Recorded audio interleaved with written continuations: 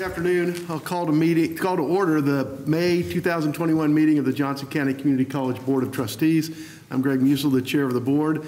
Please help me uh, begin our meeting by honoring our country with the Pledge of Allegiance.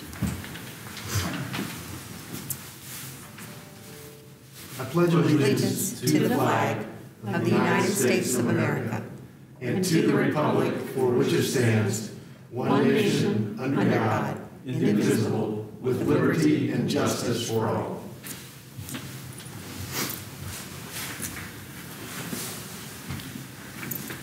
Thank you. We have all trustees present. Uh, Trustee Lawson is present via Zoom and virtually. Uh, the other six trustees are present in the room today. Um, the first thing I'm going to do is not technically on the agenda, but I thought it was worth noting.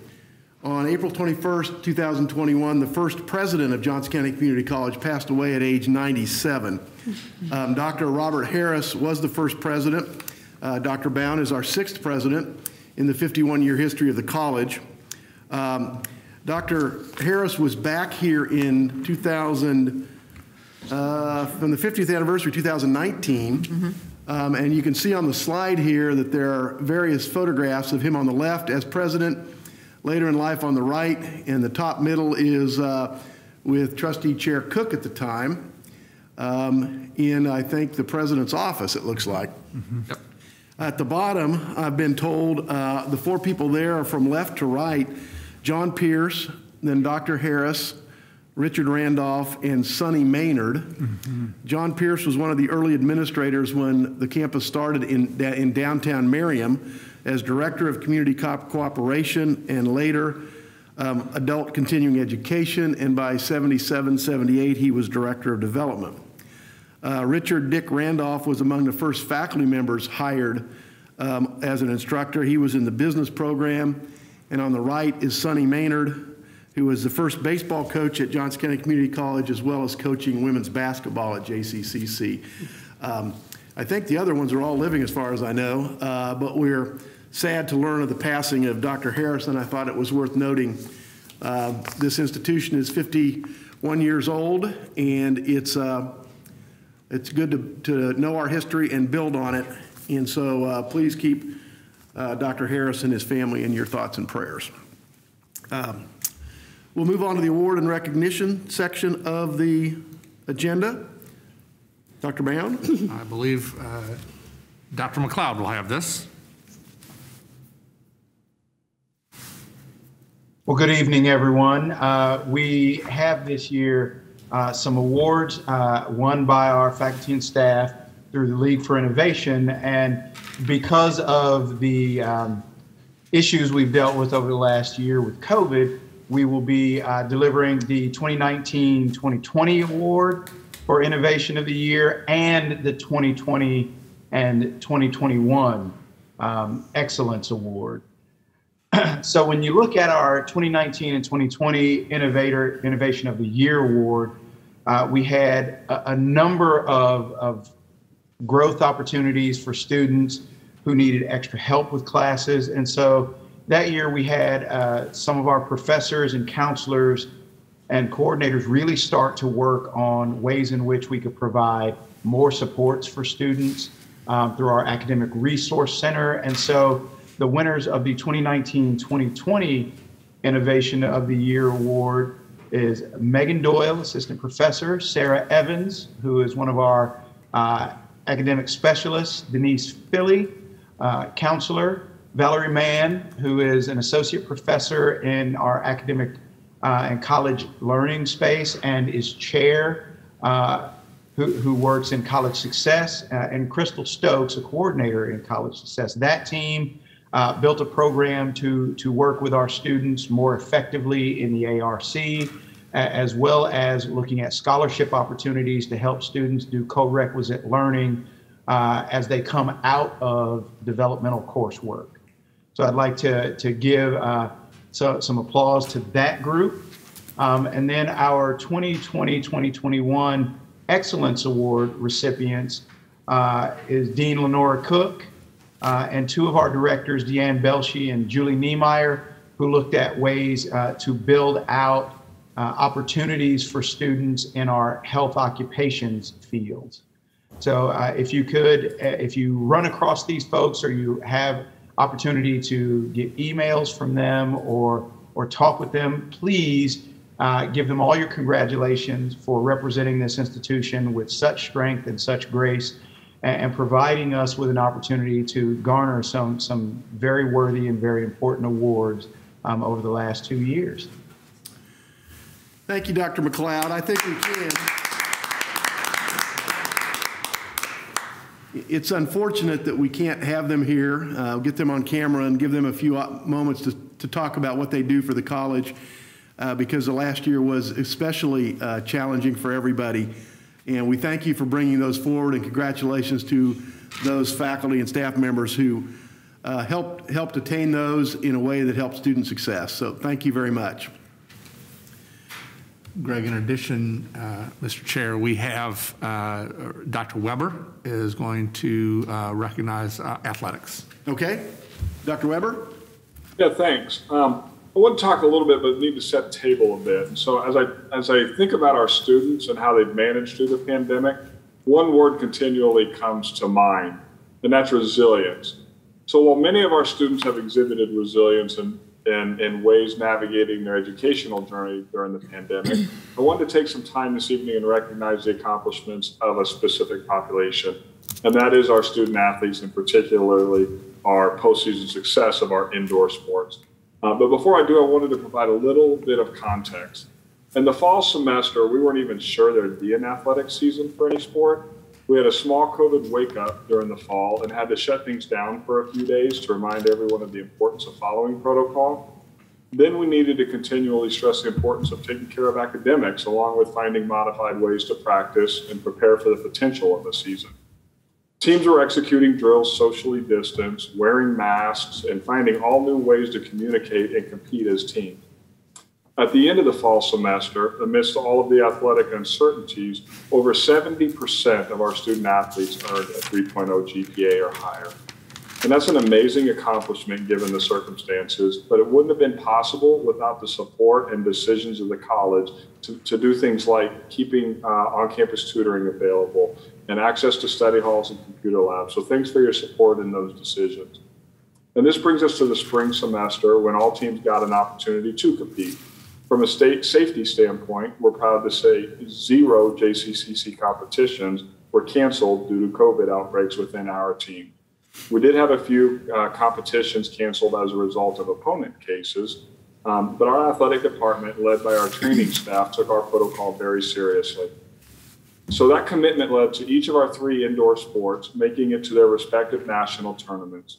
The men's basketball team, led by first year coach Rand Chappell, completed a 16 and 6 season, won their region tournament, and earned their berth to the national tournament his first season. The women's basketball team, led by head coach Ben Conrad, spent much of the regular season ranked number one in the country and undefeated through the regular season and were upset in their region tournament finals. Uh, they did earn the first ever uh, at large berth to the national tournament, and, and, and they leveraged it and, and, went all the way to the national championship game and lost a hard fought battle. Uh, we're up four or five points with about three, four minutes to go, and just uh, unfortunately, it was a game of runs, and we didn't have the last run. So their season ended at 22 and 2.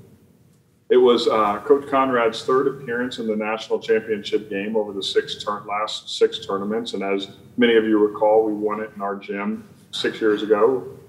Uh, the JCCC volleyball team won their district tournament and earned a number four seed in the national tournament.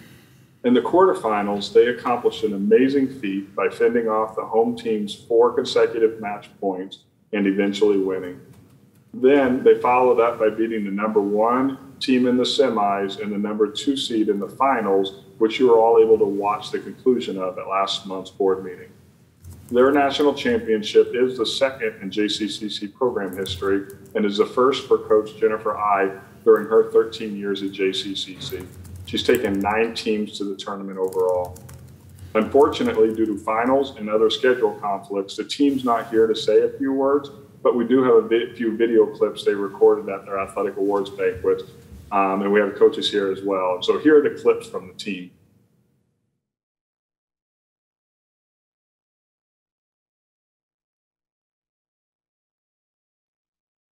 We just wanted to say thank you so much for the opportunity to play this year.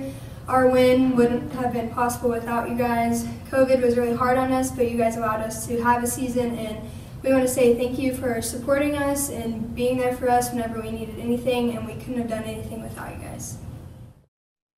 We would like to present to you the first place national championship trophy. Johnson on three. One, two, three. Johnson! Thank you!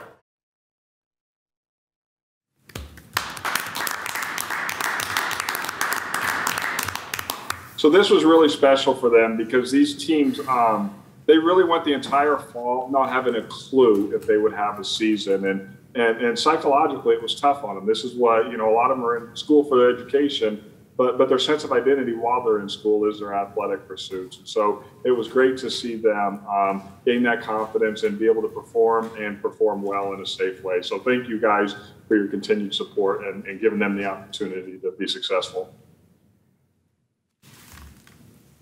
Thank you, Randy. Uh, Those reports are always welcome. Keep them coming. National championship every year in some sport would be fabulous. Uh, And the 70% with a 3.0 or higher GPA is, is always impressive, and I think our coaches, our trainers, our athletics director uh, underneath you do a great job, so thank you for your leadership in, in those programs. Mr. Chair, then if we could build on this, normally we do a student story late in the meeting, um, but keeping with our theme of our student, our student athletes, um, we wanted you to meet tonight one of our student athletes from the volleyball team. And so if we could bring Kelly up. Um, She is um, a sophomore. Uh, She's a setter on the team and uh, a- an absolutely fine young person um, who's done incredibly well academically and incredibly well as part of a national championship team. So Kelly, thanks so much for being with us today. Uh, Tell us about yourself um, and uh, your time here at uh, Johnson County Community College.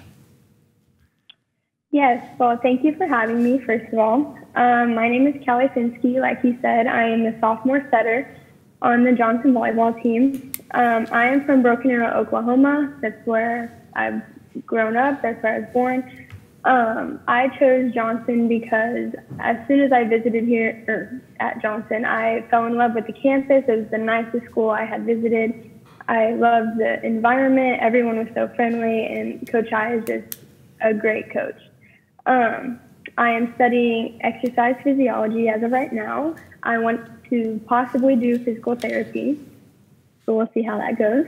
Um, the pandemic affected everyone, as we all know, but um, as a student, it was really tough to uh, just adapt to the online schooling, not having any in person classes, and just learning how to kind of teach yourself if you didn't have a Zoom meeting or anyone like physically there to teach you. Um, and as an athlete, the pandemic had tremendous effect on everything. Uh, like he said before, we weren't even sure if we were going to play at all this year. And luckily, because of you guys and everyone, uh, we were able to. So we thank you for that.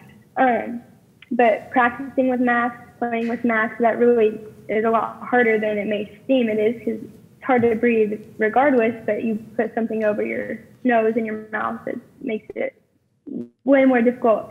Um, and just the uncertainty of the season and if we were going to get to play the next match or the next game or if there was even, even going to be a national tournament. Um, that was all really hard on us, but it really taught us how to push through and our team came together and the team chemistry was just absolutely incredible this year. Um, if we wouldn't have pushed through like we're all on the same page, I don't think we would have made it to the national tournament, but COVID really pushed us to work even harder than we like, than we would have without it. So, um, my plans for next year, I actually just committed to Drury University. I'll continue playing volleyball and my academics there.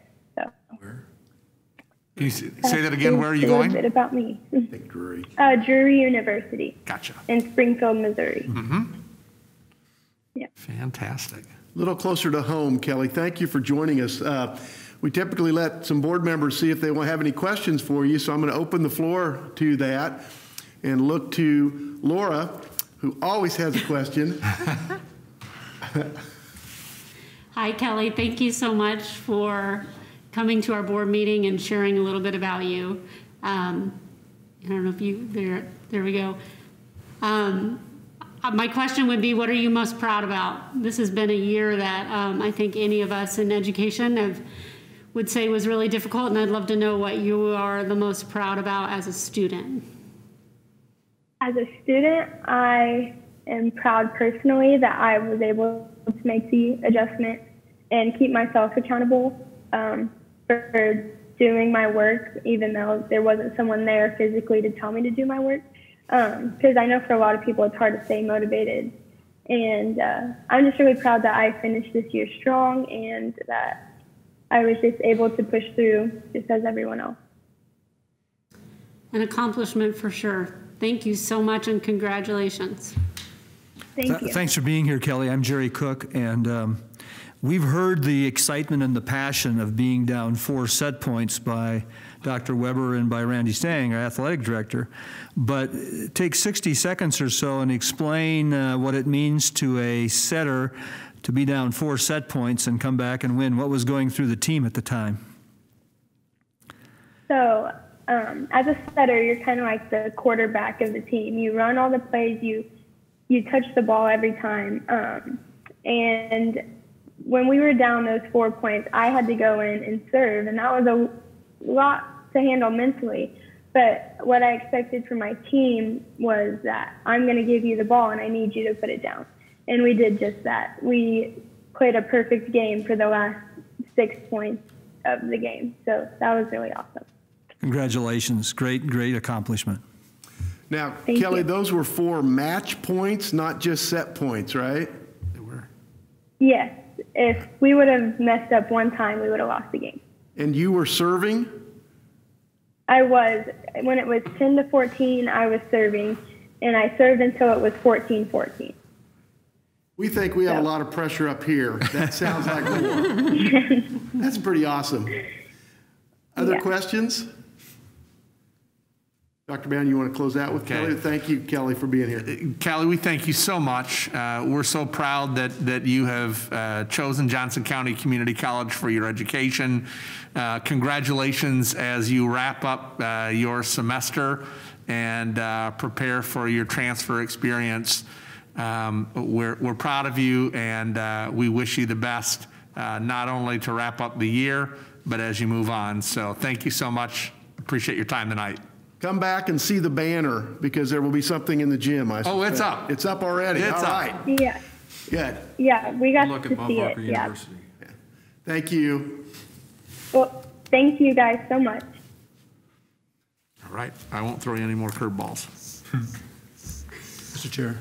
Yes, Dr. One, one last thing on that. I, I, for those of us that were there, uh, it was also a great accomplishment for Coach Ei to be named National Coach of the That's Year. right. Yeah. And uh, she, she just deserves so much credit for uh, her great work. Nine times, I think, in 13 years to the national tournament's pretty, pretty incredible. Yeah. Okay, I think we're ready to move on to the open forum. The open forum is a period of each regularly scheduled board meeting where members of the public have the right to address the, address the board on issues related to the college. Um, Typically, each a speaker would have five minutes unless there are more than, there are a number of them, in which case the chair has the authority to limit it to three minutes. Um, We ask that speakers, when they do that, be respectful. Uh, When they're in person, stay at the podium and not address items of individual students or individual personnel issues. Um, Typically, we don't respond at the board meeting on those things, and especially if it's something that's a individual private student matter, a private personnel matter, or um, something that the college is addressing in another forum. Um, For our, during our COVID and our Zoom meetings, uh, the requirement is that you register at 5 PM, by 5 PM the night before, on the Wednesday before our meeting, and there were no registered speakers for tonight's meeting. But if you want to register for the June 17th meeting, um, you need to register on June 16th um, by 5 o'clock PM, because I believe we will still be virtual at that time. Uh, The next item is board reports, and the first one is from our college lobbyist, uh, Dick Carter, reporting on the end of the legislative session, or the almost end.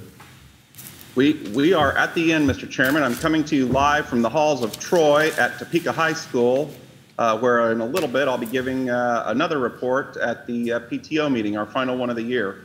So that's what you see in the background this evening. Uh, the session that has been like no other has finally come to a close.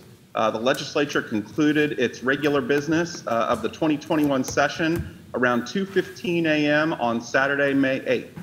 Uh, veto overrides were aplenty when lawmakers returned to Topeka on May 3rd. Uh, legislators overrode five bills. Um, Senate Bill 50, uh, I'll talk about briefly, is a uh, large tax policy bill that has been in the works for three years. It's been vetoed twice before, and uh, it'll be interesting to see how uh, things work since there is a cost of around $300 million over the next two years. Uh, but since revenues continue to exceed expectations, which is what fueled legislators to pass this measure to override the, the governor's veto, that is, um, we'll, we'll, uh, we'll just have to see what happens. Again, in April of this month, the end of, of April, revenues were up $93 million.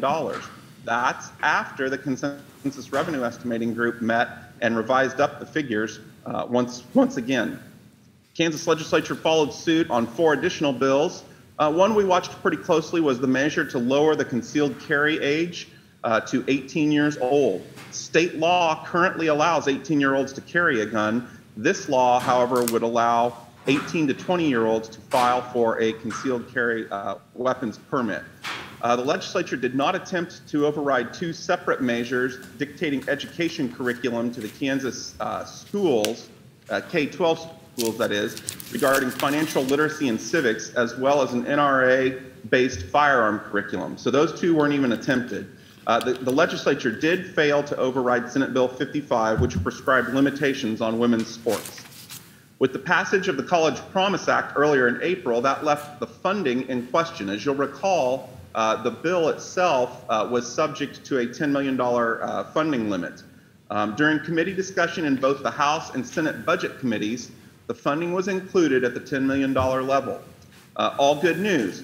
Then, when the discussion began on a maintenance of effort matter that was tied to federal funding, uh, things started to get a little dicey. Our funding was, was secure, uh, but then uh, there became an issue of uh, tying federal funds, other federal funds, both to K 12 and to higher ed, uh, to a maintenance of effort issue that was required by federal law the legislature approved $53 million toward that maintenance of effort uh, issue. It should be $106 million both for this year and for the next year. That will be, um, we'll see what happens. The, uh, the state intends to apply for a waiver. Uh, I don't know if that waiver will be passed or not. Uh, if the waiver request is not uh, honored at the federal level, um, that, that puts Kansas in a bind for additional federal funds. So we'll see what, we'll see what happens when, uh, when that uh, waiver application goes to the federal government.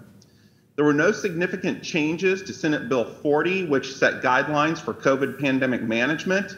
Um, having said that, legislators did make some reparations in a couple of bills that would grant, looking forward, this is, grant property tax relief for each day a business was shut down by a government order. Uh, that measure is contained in House Bill 2313, which also includes the statutory 20 mills for school funding in Kansas. Senate Bill 273 is a culmination of COVID reparation efforts that began as Senate Bill 286. The fact that I'm mentioning numbers really isn't important because things change so fast in the, uh, at the end of the legislative session. Uh, but just to give you a sense, um, that's, the, that's the conference committee report that things ended up in. Under the conference committee agreement that was adopted, businesses can apply for relief during a certain period that coincides with the pandemic. I would say that the good news for institutions like us, other local units of government, is that the payment funds will come from federal assistance dollars rather than state or local funds. That was the original uh, way the bill was written. So, so that's why I'm uh, providing an update on, on what those reparations look like they won't come out of uh, the budgets of locally governed bodies uh, across the state of Kansas. Uh, the College Promise Act, as mentioned earlier, uh, was passed separately by the House and Senate in um, late March, early April. Uh, the conference committee married the two bills into a product that was a bit different than its origination, but the end product is essentially the same last dollar assistance to those who are part of the program. I provided a detailed breakdown uh, and an explanation of the program that is at the end of this report. However, at this time, uh, I, I want to uh, recognize Kate Allen to give you some additional updates as they pertain to Johnson County Community College. Thanks, Dick. My name is Kate Allen, and I serve as Vice President for Advancement and Government Affairs. And as Dick said, I'm providing a, a brief summary of the Kan- Kansas College Promise Bill. I know the trustees received a more comprehensive summary, and Dr. Bowne felt it might be important for this legislation that we verbalize uh, a summary for our larger audience here uh, at JCCC. This was approved by Governor Kelly last month. Uh, the college promise concept, uh, you, some may be familiar with it. It's alive and well in hundreds of other cities, institutions, uh, even several states. Uh, each have uh, its own rules and parameters, and the intent behind the legislative intent behind our Kansas College Promise Bill is to support workforce development within our borders. It is the first of its kind to come out of Topeka, so we are excited about that. The basic premise of the Kansas College Promise Bill is to provide no cost tuition, books, and materials to certain students who are uh, pursuing certain eligible careers. And it's important to note that this is a program that impacts credit students. It is not currently for our continuing ed students. The credit students must have graduated from a Kansas high school in the last 12 months, or they, it could be a Kansan who is at least 21 years old and has lived in our state for the last three years. So that's who is eligible. Then they have to enroll in an eligible program. Currently, there are four academic categories that are eligible, uh, and then each institution gets to select their own fifth category. So the four legislated categories are first informational, information technology and security. Second is physical and mental health care. Third is early childhood education and development. And then fourth is the advanced manufacturing and building trades. So this means that every program within those categories would be eligible. So when I when I mentioned physical and mental health care, that would be our nursing program, our respiratory care program, everything that would be within that category. All those programs would be promise eligible. And then the fifth choice that uh, JCCC submitted for is our um, ASL interpreting program. So that would be our, our personal selection. All schools would have their own fifth category. And but again, it's important to note that all of these courses are, are kind of pending approval still from the Kansas Board of Regents. So we're not fully official yet, but that's where we're heading. Uh, the students then, after they pick their, their, uh, their course, if it's eligible, they have to fill out the FAFSA. So much like the College Promise program that we discussed on our campus a few years ago, this would be a last dollar program. So that means that every student has to use their federal aid first, their Pell or whatever federal aid they might get, as well as any other institutional aid or foundation scholarship or any kind of outside funding they can get, has to be first before the promise dollars are applied. We don't want them to use personal money, but any scholarships would come first, then promise money. The student would sign the contract that's being developed, um, and as a promise recipient, they would be agreeing to a two year Kansas work live requirement at the end of the program. If they go and get their bachelor's, that would be on hold until they finish their bachelor's, then the two years would take effect. So, as it stands today, a JCCC student who graduated from, from here but gets a job on the plaza they would not be in compliance. They would have to pay back their promised scholarship. And again, that's because this is a Kansas workforce development program funded by Kansas taxpayers. Uh, what's not covered? Remedial courses, unless they are delivered in a co-requisite format. Most of us grew up with the prerequisite format, and that is the JCCC model by and large. But the co-requisite model, as the name suggests, allows students to take the remedial course and the credit course concurrently. Um, so that's an issue we'll just need to be aware of and think through. Another piece to navigate is who manages the collections process for students who don't complete the requirements. We believe that it's looking like it will be the Kansas Board of Regents who will manage that, not the individual institutions, but that's also being finalized right now.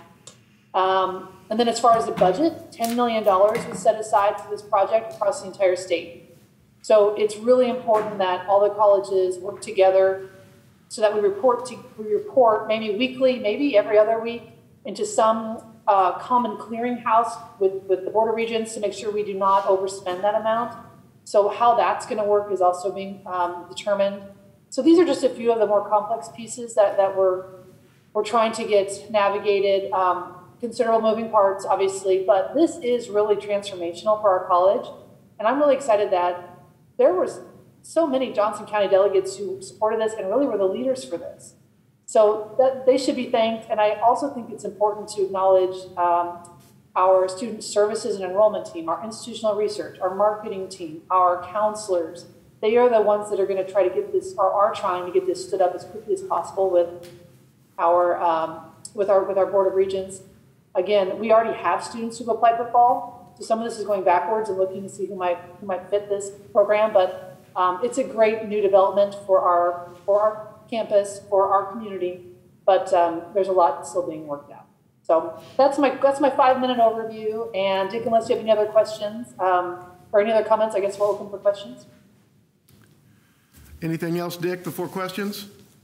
I don't think so. Uh, the legislature returns on May 26th for uh, sine die. Um, the Senate will be um, selecting a new majority leader, and so that will provide a little bit of uh, reading material between now and uh, next week or, or uh, May 26th. So,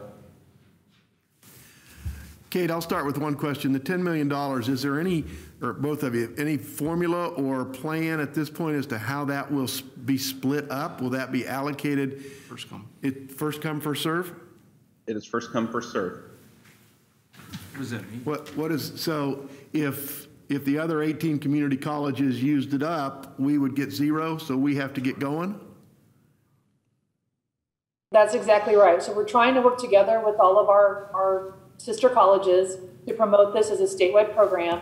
But it is, um, it is definitely something that we hope bears fruit for us and our, our local students. But it is a, it will be a promotional issue. You know, high schools are just about to experience graduation and yet we aren't totally approved yet to be able to promote. So we are, all schools are, cha- are challenged with that, but it is, it is a, it will be a race to access those dollars, yes. I think we'll all be very interested in how those dollars are allocated in this first year and whether it's a, there's a fair split for Johnson County taxpayers who uh, contribute significantly to the state general fund. Other questions? Uh, Trustee Snyder. Uh, Kate, a question for you. What was it that you said would be the college's fifth kind of discretionary focus for the Promise Act? Sure, it's the American Sign Language and Interpreting Program. And I don't know if Dr. McCloud would like to expand on what those courses are in that program, but that's our fifth choice that we selected. Got it. Yeah, and, it, and actually, um, Trustee, to, it expands to our interpreting program writ large which includes uh, American Sign Language interpreting, as well as legal and medical interpreting through our foreign language program, which um, focuses on, on our uh, help and translation for non-English speakers uh, in need of, of medical and legal assistance in, in the county.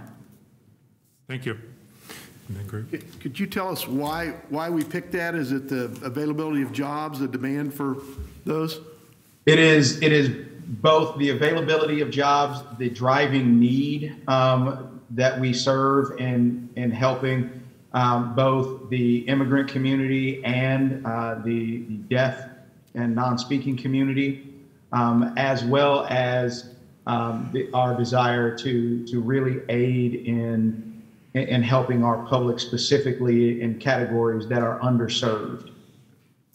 Um, I'm going to remind speakers on staff. Kate, you did a good job uh, to identify yourself and your position. We heard just now from Dr. Mickey McCloud, Executive Vice President for Instruction and Chief Academic Officer, and early from doc, Dr. Randy Weber, Executive Vice President for Student Success, so that because some of I, I, can't see it when it pops up here if your name is there, but I, I don't think your title's there. So if we could do that. Other questions for Dick? Uh, Trustee Snyder. So yes, uh, and this one is for Dick. Um, where did the college end out end up from a budget perspective with state allocations? I, I, know the broad strokes what higher education as a whole got, but I, I lost how much. Are we doing better than we did last year?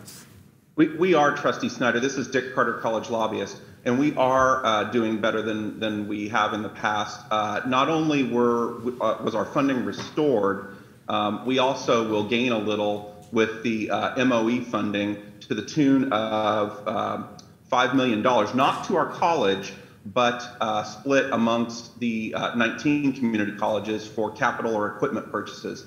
Now, there's a little hiccup there as well. Um, legislative intent was for those dollars to be divided by on a formula based on FTE at each institution. That means we would do very well. That language was not specifically included, though though it was directed, uh, was not included in the final version of the bill. Hence, this is where we run into problems uh, in at 2 a.m. sessions mm-hmm. when we're suspending rules, uh, not having to print or view um, the, the budget itself. And so that is one of the, the problems that legislators are working on figuring out how that distribution will work. So I don't have a specific number for you, but we are we are fully funded um, to levels that that uh, we were requesting uh, at the overall higher ed level, and then we will get some additional dollars through that maintenance of effort funding, Thank both you. both in both in the current fiscal year and the next fiscal year. Thank you. Yes, sir. Trustee Cross? Yes, thank you, Mr. Chair. I just wanted to take a moment to uh, comment on, uh, I'm eight years on this board, nearing a ninth, thanks to the wisdom of the legislature to extend our terms. And uh, I don't remember a better report out of Topeka. So I wanted to commend everyone for the work that they've done, the relationships that I've know they've maintained for many, many years, and frankly, the leadership of this board and administration. So I just, unless I'm missing something, I think this is pretty good news. Somebody could set me straight. Uh, but I just want to throw in my two cents. Like, good job, everyone. Other questions or comments? I- I don't want to throw cold water, but I think we dodged some real bullets this year as well. We did. With the legislature deciding curriculum for K-12, and that will, that, if done, will turn into curriculum for higher education. Um, So I think there were, there, the, the budget numbers are better for Kansas finally, and that is that has turned into better funding for K-12 and for higher education.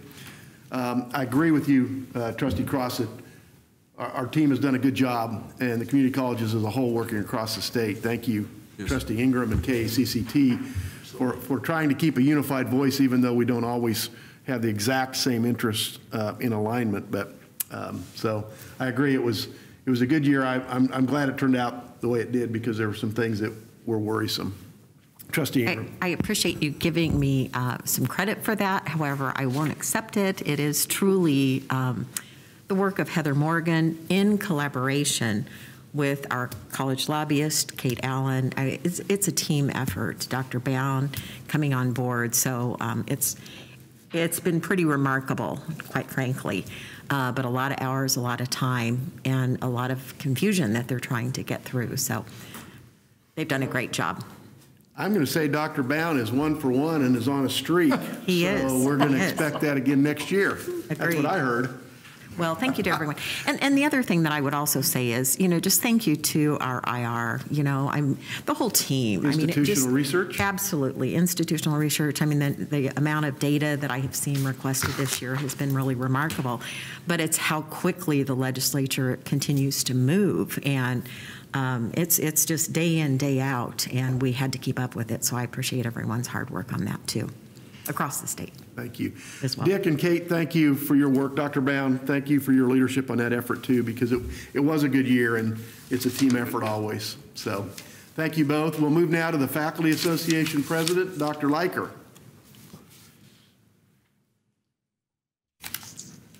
Thank you, Greg. Um, I want to apologize in advance for the hoarseness and excessive coughing you're probably going to have to endure. Um, I'm either a victim of allergies or overuse of voice, so imagine that.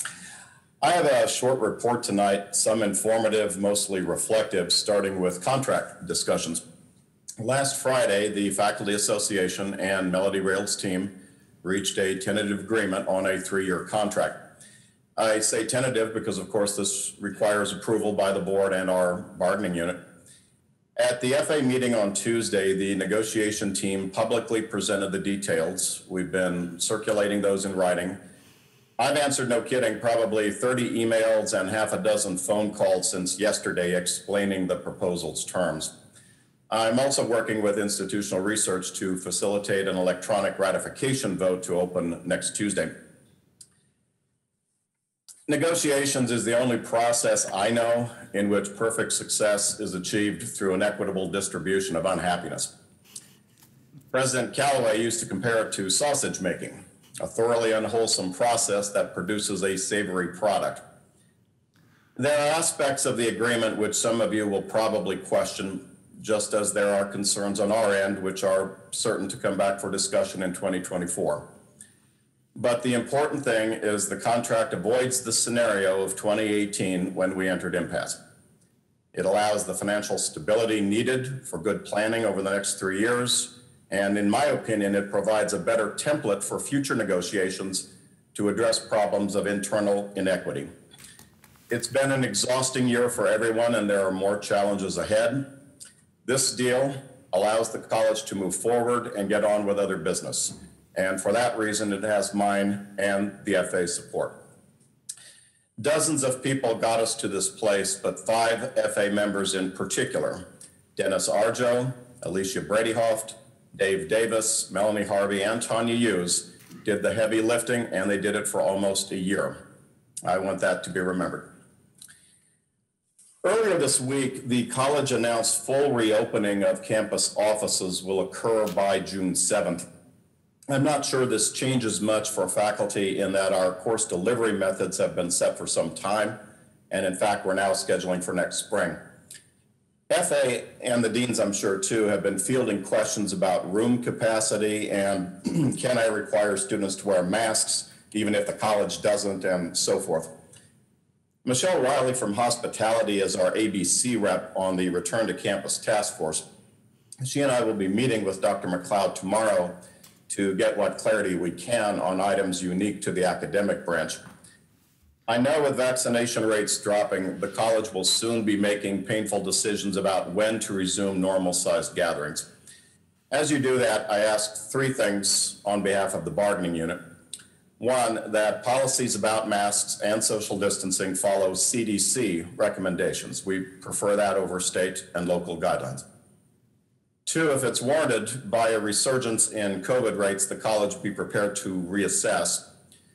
And three, that you demonstrate the same flexibility you have so far in this crisis by recognizing the needs of individual instructors in individual courses. Depending on content or pedagogy, for instance, the professors need to assign students into small groups. Masks may be necessary in some areas for the foreseeable future. I hope administration will respect that and not try to hold everyone to some tyrannical consistency. Excuse me. So this is May, and hence the end of our academic year. It's always a bittersweet time, especially for faculty on nine-month contracts. We, we look forward to summer and a less rigid schedule, but we also say goodbye to students and retiring colleagues. For the second May in a row, we've missed the opportunity to do that in person. It will be sad and weird, to say the least, to return this fall and find so many familiar faces gone.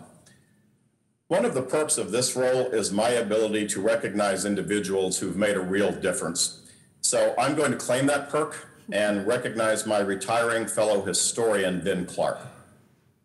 Vin was my mentor when I joined JCCC in 2002. He was instrumental in establishing our current system of governance through the academic chair model and was my predecessor as chair of history and political science. Most importantly, Vin served as FA president when Dr. Carlsen announced his abrupt retirement after 25 years.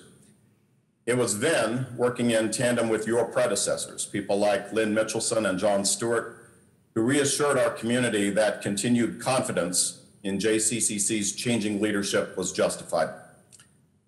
Faculty association can be an adversarial force or it can be a supportive one. Ben had it in him to be both, but I think he leaned toward the latter. Lately, I've been reminded that much of my career has been a toddler's attempt to keep up with him, but no matter how fast I went, I was always walking in his tracks. For that, I say thank you not only to him, but to all our faculty retirees.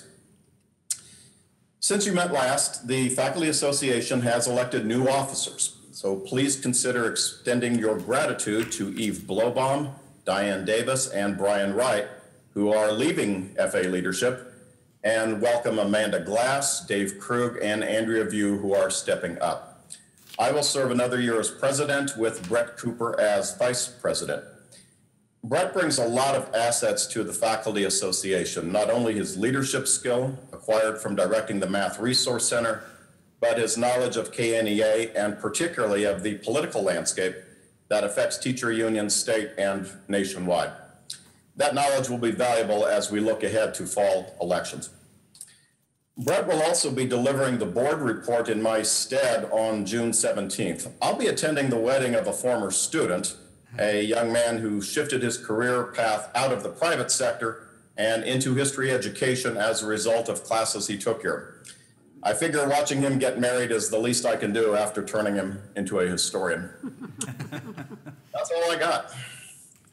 Jim, thank you for that report. That, I know that will be a special moment to go to a former student's um, wedding. Um, that means you're not only respected, but you're older. Thank you. um, are there any questions for Dr. Leiker? Um, we will have an executive session later tonight with respect to the uh, proposed contract, so we'll learn more as Dr. Leiker has been uh, letting his association know. So thank you very much, Jim.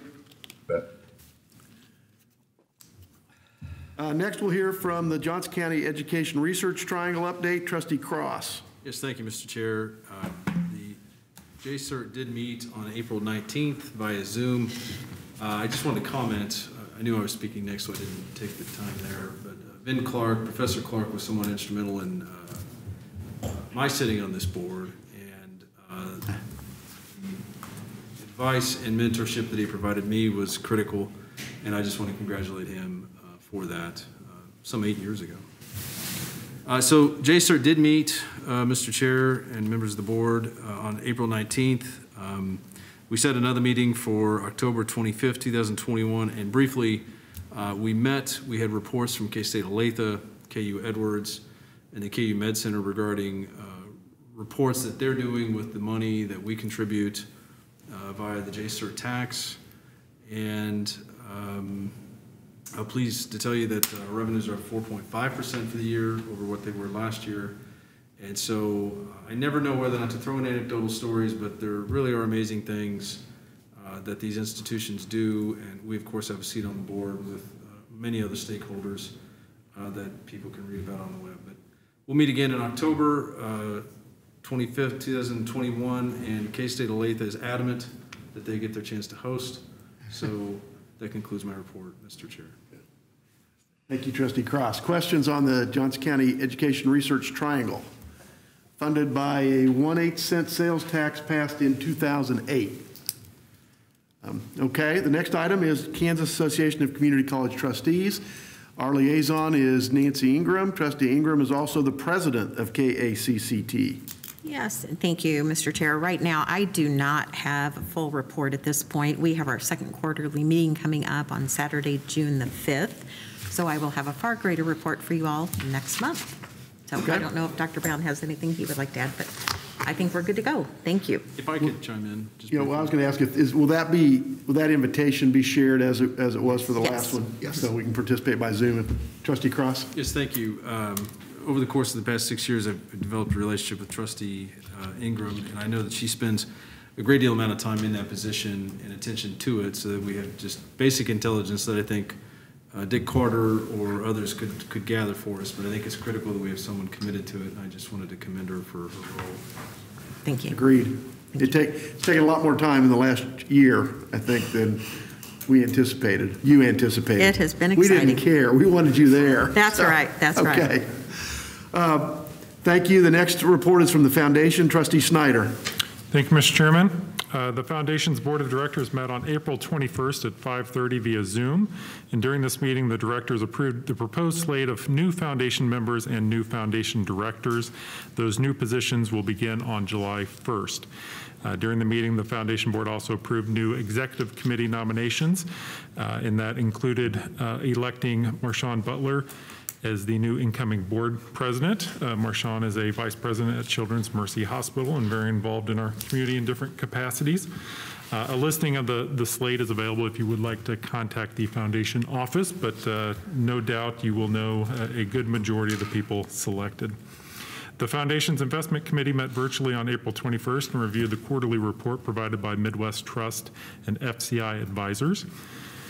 And finally, the Foundation's, uh, not finally, but uh, the Foundation Some Enchanted Evening Committee uh, met on uh, April, whatever day we had our board meeting, April 17th, 15th, I believe. I didn't have that in here.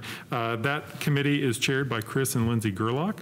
And at the committee, they approved plans for a hybrid event this year. Uh, More traditional in-person gala will be held on Saturday, November 13th at the Overland Park Convention Center. Uh, The is working closely with the convention center to ensure all available pro- protocols and precautions are being uh, considered. And there will be a virtual opportunity for those that don't yet feel comfortable attending in person. Uh, And those, those uh, aspects will build upon the successful virtual event last year. More details will be headed your way, both in your inbox and your mailbox. Uh, Finally, the foundation annual lunch is next Tuesday. It will be held virtually uh, via uh, YouTube. So you will get a YouTube link sent to all of you. Encourage you to participate, and if you have questions, reach out before then. Um, That is my report. Okay, Thank you. trustee Cross has a question or comment. Will we have to show proof of vaccine and or booster for some of the evening? Not that I'm aware of, but that, that, we we would like you to wear a mask though regardless. Thank you, Mr. All in favor, no, that's not a vote. That's not a vote.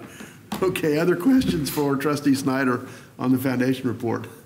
Thanks, Lee. If Not, we'll move on to the committee reports and recommendations. Collegial steering, we met on May 4th. Um, We had three, uh, three topics that we tried to look at. One is uh, wrap-up of 2021 and uh, what, what were people most proud of, what lessons were learned, and how to prepare for the next disruption. The second one was one or two things we thought could greatly impact student success, and then the third was more of a planning one about what collegial steering will look like in the fall of 2021. Um, There will be a different chair here in January of 2022, so that person will uh, be in a position to um, figure that, figure out what, the- how they want to run collegial steering. Um, With respect to the wrap-up and, and lessons learned, I thought I'd share a few of them. I'm not going to say who, who told them. It's, this is a committee of faculty, staff, and trustees. Um, One, one was about the grace shown by students and the notion that if you give grace, you get grace. Talked about incoming student surveys where we're including a hope scale, which is something that um, helps indicate people's stick-to-itiveness, I guess, and their willingness to, uh, and to, their ability to be resilient uh, as long as we can give them hope. Improved accessibility through virtual meetings, which was good for not only faculty, staff, but also for students. Um, we we heard about uh, the fact that we were prepared because we had done uh, disaster planning, not for a pandemic, but we had done disaster planning.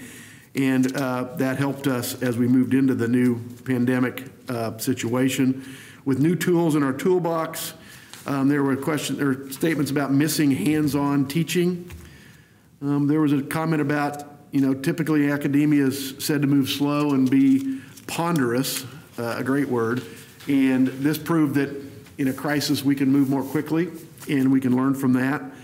Um, no one size fits all. Some students need to be on campus. We need to meet students where they are.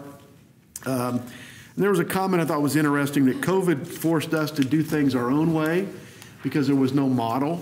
And I know we, we always talk about how do our peers look, what do they do, what is what's working someplace else, best practices, which I think is good. But I thought it was it was kind of profound that there wasn't any model for this. Nobody had done it, and so we had to do it on our own. And some of the talent and creativity of Johnson County Community College came through in that. Um, we talked about training in skills and interests, but making sure students are well-rounded. Um, this was in particular with respect to the culinary and culinary and hospitality industry, because our teaching continued, but the industry is is devastated. So finding a place for those students to pivot to something else that would work, I thought was a, was a, an interesting comment. And then there was a practical comment about how do, how do we reduce textbook costs as one of the barriers. I think our tuition, I've, I've said for a while, I don't know that our tuition is a big barrier given Pell Grants and others, and the scholarship monies that we give out of about a million three a year. But books can cost as much as tuition in some, in some of the curriculum. Um, Before I close, I want to thank our outgoing members, Diane Davis um, from the Faculty Association and Jamie Cunningham from the Educational Affairs Committee. Been very good. It's been a, it's been a, it's been a good year and, and had, we've had good discussions. So I want to thank them for their service and let them know they'll be missed in the fall. That's the collegial steering report. The next item is the various items that came from the committee of the whole. I think we can move into that. Uh, The first recommendation is a modification to internal and external audit policies. It's on pages three and four of the committee of the report uh, discussion. And it's recommended changes to internal and external audit policies to clean up language within the policy and limit access to records necessary for an audit or investigation. Um, Are there any questions about that before I ask for a motion to, to approve the recommendation of the college administration to approve modification to the internal and external policy 210.05? Any questions? Is there a motion? So move. Second. Moved by trustee Cook and seconded by trustee Ingram to approve the recommendation. Any discussion? And trustee Lawson, you're going to have to shout out if you have it, since I can't see you on the screen. I can't see if you raise your hand, but. I'm free- good, thank you, though. Feel free to do so. Okay. All those in favor say aye. Aye. Aye. Opposed, no. That motion carries unanimously. The second report from the Committee of the Whole was to review changes to the Open Records Policy 2 point, or 218.00. The recommended changes add the definition of public records to the policy and explain that Johnson County Community College is considered a public agency under the Kansas Open Records Act, sometimes referred to as Co- as CORA. It doesn't change any of the substance and certainly reflects our continued commitment to follow the state law. Um, It's the recommendation of the Committee of the Whole that the Board of Trustees accept the recommendation of the college administration to approve the modification to the Open Records Policy 218.00 as shown on pages five and six of the agenda packet. Any questions or a motion to approve? So move. Second? Moved by trustee Cook and seconded by trustee Ingram. No, that was trustee Smith. I'm Smith. sorry, trustee Smith Everett. It's okay. I'm going. All those in favor say aye. aye. Aye. Opposed, no. Motion carried. I do want to report that we, we have changed our, our methodology of bringing items to the board. And we have a once-a-month committee of the whole meeting where all the trustees um, hear all of these items in a committee setting that is also an open meetings, open meeting available by Zoom. And so as we go through these things, uh, please understand they have already been uh, discussed and presented and vetted at that committee of the whole uh, to which the public is invited.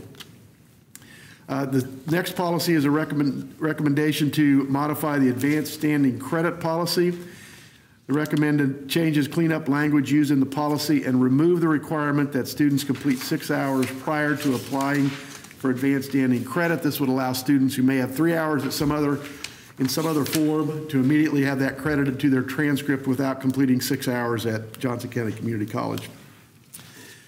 So it's a recommendation of the Committee of the Whole that we approve the college administration's proposal to modify the advanced standing credit policy 314.03. Any questions or a motion? So moved. Moved Second. by trustee Smith Everett and seconded by trustee Lawson. These are on pages seven through eight, seven through nine of your packet. Any discussion? If not, all in favor say aye. Aye. Opposed, no. That motion carries. The next item for recommendation is the remo- Renewables Direct Participation Agreement with Evergy, Inc.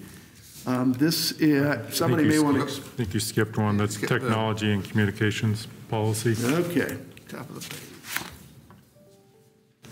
Stressful being a quarterback. Top of the page. All right, that's on pages eight and nine. I misspoke before. The previous recommendation was only on page seven. So on pages eight and nine is a recommendation to add the definition to, to modify the Technology and Communication Systems Policy 1, 510.00 to add the definition of communication systems, JCCC information and technology, and clean up language uh, throughout the policy. And this is intended to protect and explain clearly what you're allowed to use of Johnson County Community College technology and information and, and what you're not supposed to use. Any questions? If not, is there a motion to accept the recommendation to approve modification to the use of technology and communication systems policy 510.00 as shown subsequently in the board packet? So moved. Moved by Second. trustee Ingram and seconded by trustee Lawson to approve the policy changes on pages eight and nine of the packet. Further discussion? Not all in favor, say aye. Aye. Aye. Aye. Opposed, no. That motion carries unanimously. Now we get to the renewals direct participation agreement with Evergy Inc. And Randy, I didn't advise you ahead of time. Could you give us a quick thumbnail of this? Dr. Weber?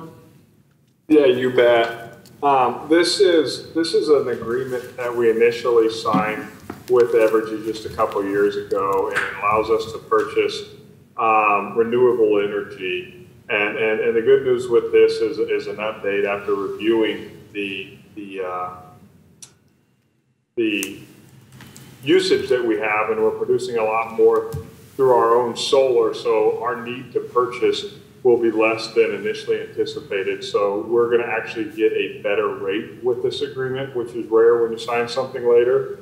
Um, but this is a, a better rate to use less energy based on our commitment to solar over the last couple of years. And this is this would be primarily the purchase of wind energy from them.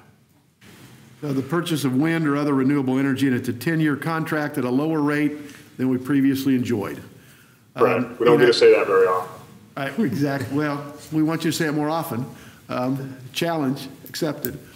Uh, Remind people in the public that we are an all-electric campus. It was designed that way, and so it's all electric.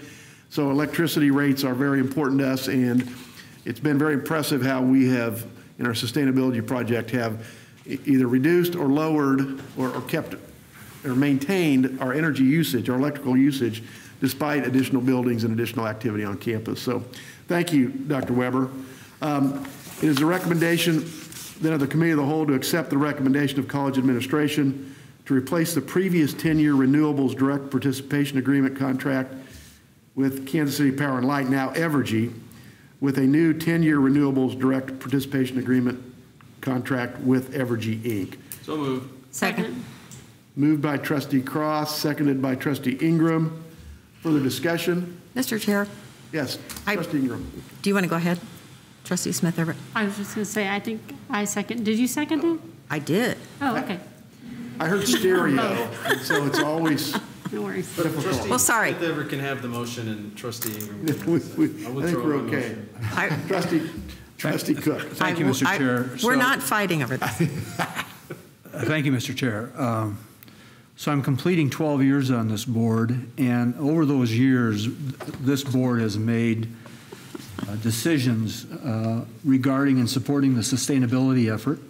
The college has been recognized nationally several years throughout that time. Dr. Antle and others, the whole sustainable team, deserve a lot of credit for their leadership. And uh, sometimes when we, we make a motion to buy a different kind of light bulb, or we put in different switches, or we make some changes, uh, the public perhaps can say, well, that's a pretty expensive cost. And this is a good example tonight of what we're dealing with of, um, of uh, using less wattage, and a lot of it's attributed to our overall sustainable program. But I just wanted to uh, thank this board for having the courage to support the administration, uh, faculty, and team uh, on sustainability to, to take these actions. I've always said we ought to be a leader in various things, and this certainly is one example of how this college has been a leader to the county and the state. So thank you very much. Thank you, Jerry. Trustee Ingram. When I raised my hand earlier, it was to make several comments, but I have deferred to trustee Cook, who has done such a wonderful job that I'm not sure that I can add anything in as, as a result of Randy Weber making some wonderful comments and Chair Cook, but I, I or not Chair Cook, Trustee Cook, excuse me. Um, but I do agree. I think it's really, it's just something that has permeated in the five years that I've been on the board. Um, you know, Olathe has a 21st century program that is sustainability. Um, you know, it's it's very attractive to all of us, but I think particularly some of those students who will be attending the college in the coming years, and to be able to talk about this program and what we do and what we have achieved, I think is just remarkable. So, Trustee Laura Smith Everett, if you have some other comments to make, I didn't I, I mean was to. just, I thought, I was just um, yeah. arguing about the second, so I thought he was calling you me again. And No, no, no. So, thank you. Trustee Cross, save me. Yeah, Thank you, Mr. Chair. Um, it- It's nerve-wracking being chair. Um, I, I do commend the leadership of uh, Trustee Cook, Trustee Musil, and everyone I've served with for um, the focus on sustainability. And and I think to Dr. Bowne, who's helped continue that legacy, that it needs to be a part of our, um, our planning and strategic uh, plan going forward. I, I know it will be. I'm just taking the time to grandstand a little bit and say I- I'm, I'm beyond proud of what we've done. And uh, though Trustee Musil and I argue a lot, this has been a point of agreement. And uh, I thank you, Mr. Chair, for the chance to come. I commend everyone. I disagree that we argue very much. Oh, okay. Thank you, trustee Cross. It is a credit to the entire uh, spirit of the campus that we have, we have put sustainability and renewable energy and those types of programs at the forefront of what we try to do. Okay, did we vote on that? Not yet. No. All in favor, say aye. Aye. Yes. Aye. Opposed, nay? No? Motion carries unanimously. Um, On page 12, we have three single-source purchase reports. I don't know, I assume Kelsey is watching. I'm going to take those all at once unless I hear otherwise from um, our legal counsel. The first one is for Sirius Computer Solutions in the amount of $275,000 for um, additional network and infrastructure products and services to support students, faculty, and staff during the COVID pa- pandemic. Um, The second one is with Dell uh, for the purchase of $1.5 million worth of additional equipment, and that is purchased through the, the co-op that we have with other state, state entities so that we can buy at volume. And the third one is a recommendation for the, the purchase and installation of additional netting for the new soccer complex um, to present, for, protect from soccer balls ending up on College Boulevard. Are there questions about any of those single-source reports? Not a question, but I appreciate your efficiency. Thank you. I'd move their adoption. Second. Been moved by trustee Cook and seconded by trustee Ingram to approve all three single-source items on page 12 of the agenda. Any discussion? Not all in favor, say aye. Aye. Opposed, no. Motion carries. That takes us to page 14. And the committee of the whole recommendation to approve the low bid from A to Z Theatrical Supply and Service, Inc. on request for bid 21-044. These are dimming control upgrades um, in the Midwest Trust Center. Um, My, it's a Regnier Center, the Nerman, Nerman Museum of Contemporary Art, and the Commons area, excuse me, buildings. My recollection from the committee of the whole is that our dimming system is so old that we can't find replacement parts, uh, which is the reason for this. It is a low bid from two bidders of $177,694 with a 10% contingency. So the motion should be to approve total estimated expenditures of 195,463 and 40 cents. Discussion or a motion? So moved. Second? Moved by trustee Snyder and seconded by trustee Cross to approve the recommendation for the low bid to A to Z Theatrical Supply Wait a and minute, this Service. was the low Inc. bid? It is the low bid. Oh, okay. Yeah, I second. Uh, Further discussion? If not, all in favor say aye. Aye. Opposed, Aye. no. That motion carries unanimously. On page 15 of the board packet is a, uh, an award of bid for five office renovations in four different buildings. Um, The renovations occur in CSB Sustainability Office, MTC Third Floor Academic Affairs and Legal Office, MTC second floor financial services office, library third floor renovation, and OCB second floor office renovation. At the committee of the whole, we learned that a lot of those are, are due to some of the movement that we had to put student services facing the public on the ground floor of buildings and moving administrative offices to upper floors of building, um, which is what part of this would accomplish. The low bid was for Paric, P-A-R-I-C Corporation, $897,000 with a 10% contingency, bringing the total estimated expenditure to $986,700. Questions or comments? Trustee Cook. As we discussed, thank you, Mr. Chair. As we discussed in the committee of the whole, uh, I don't want the public to think these are just five individual offices. These are suites of spaces, so it's, it's, these are larger spaces than the traditional office. And uh, it it is uh, due to uh, uh, delivering a better service to our students. So I wanted to make sure that people understood that. Good point. I me- I know Dr. McCloud pointed out that the Academic Affairs Office will be uh, using less space than it did in its prior location. So um, these are necessary as part of our uh, facilities master plan. All those in favor? Lee Lee has a question. If I may. Trustee Cross. I I thank Trustee Cook for pointing that out, because as we're going through some of these numbers, Trustee Sharp used to always uh, stop and question some of the numbers justifiably.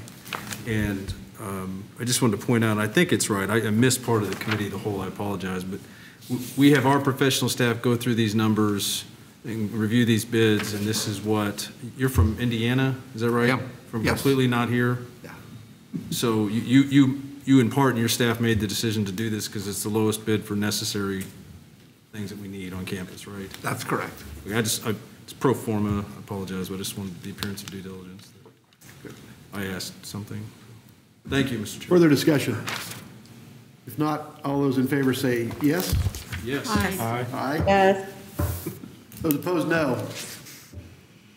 I didn't try to trick you, trip you up, I tripped myself up with the aye instead of yes, but, all right, we're now uh, to the, probably the most important part of the, of the actions today, which is to a- adopt a management budget for 2000, fiscal year 2022, which seems weird even to say. Um, For the public purposes, we will adopt a management budget today, allowing management to then issue contracts to faculty and other purposes. Uh, We will hold, we will publish the budget in July, and we will hold a public hearing in August. And here, Dr. Bowne, should I just turn it over to our Chief Financial Officer? That'd be great. Rachel Lierz. Rachel, thank you for being here in person. Absolutely, thank you. Um, In addition to the materials that were included in the board packet, I do have just a few slides tonight to kind of inform our discussion on the adoption of our management budget for fiscal year '22. So just jumping right into the slides here, um, and hopefully you all can see those.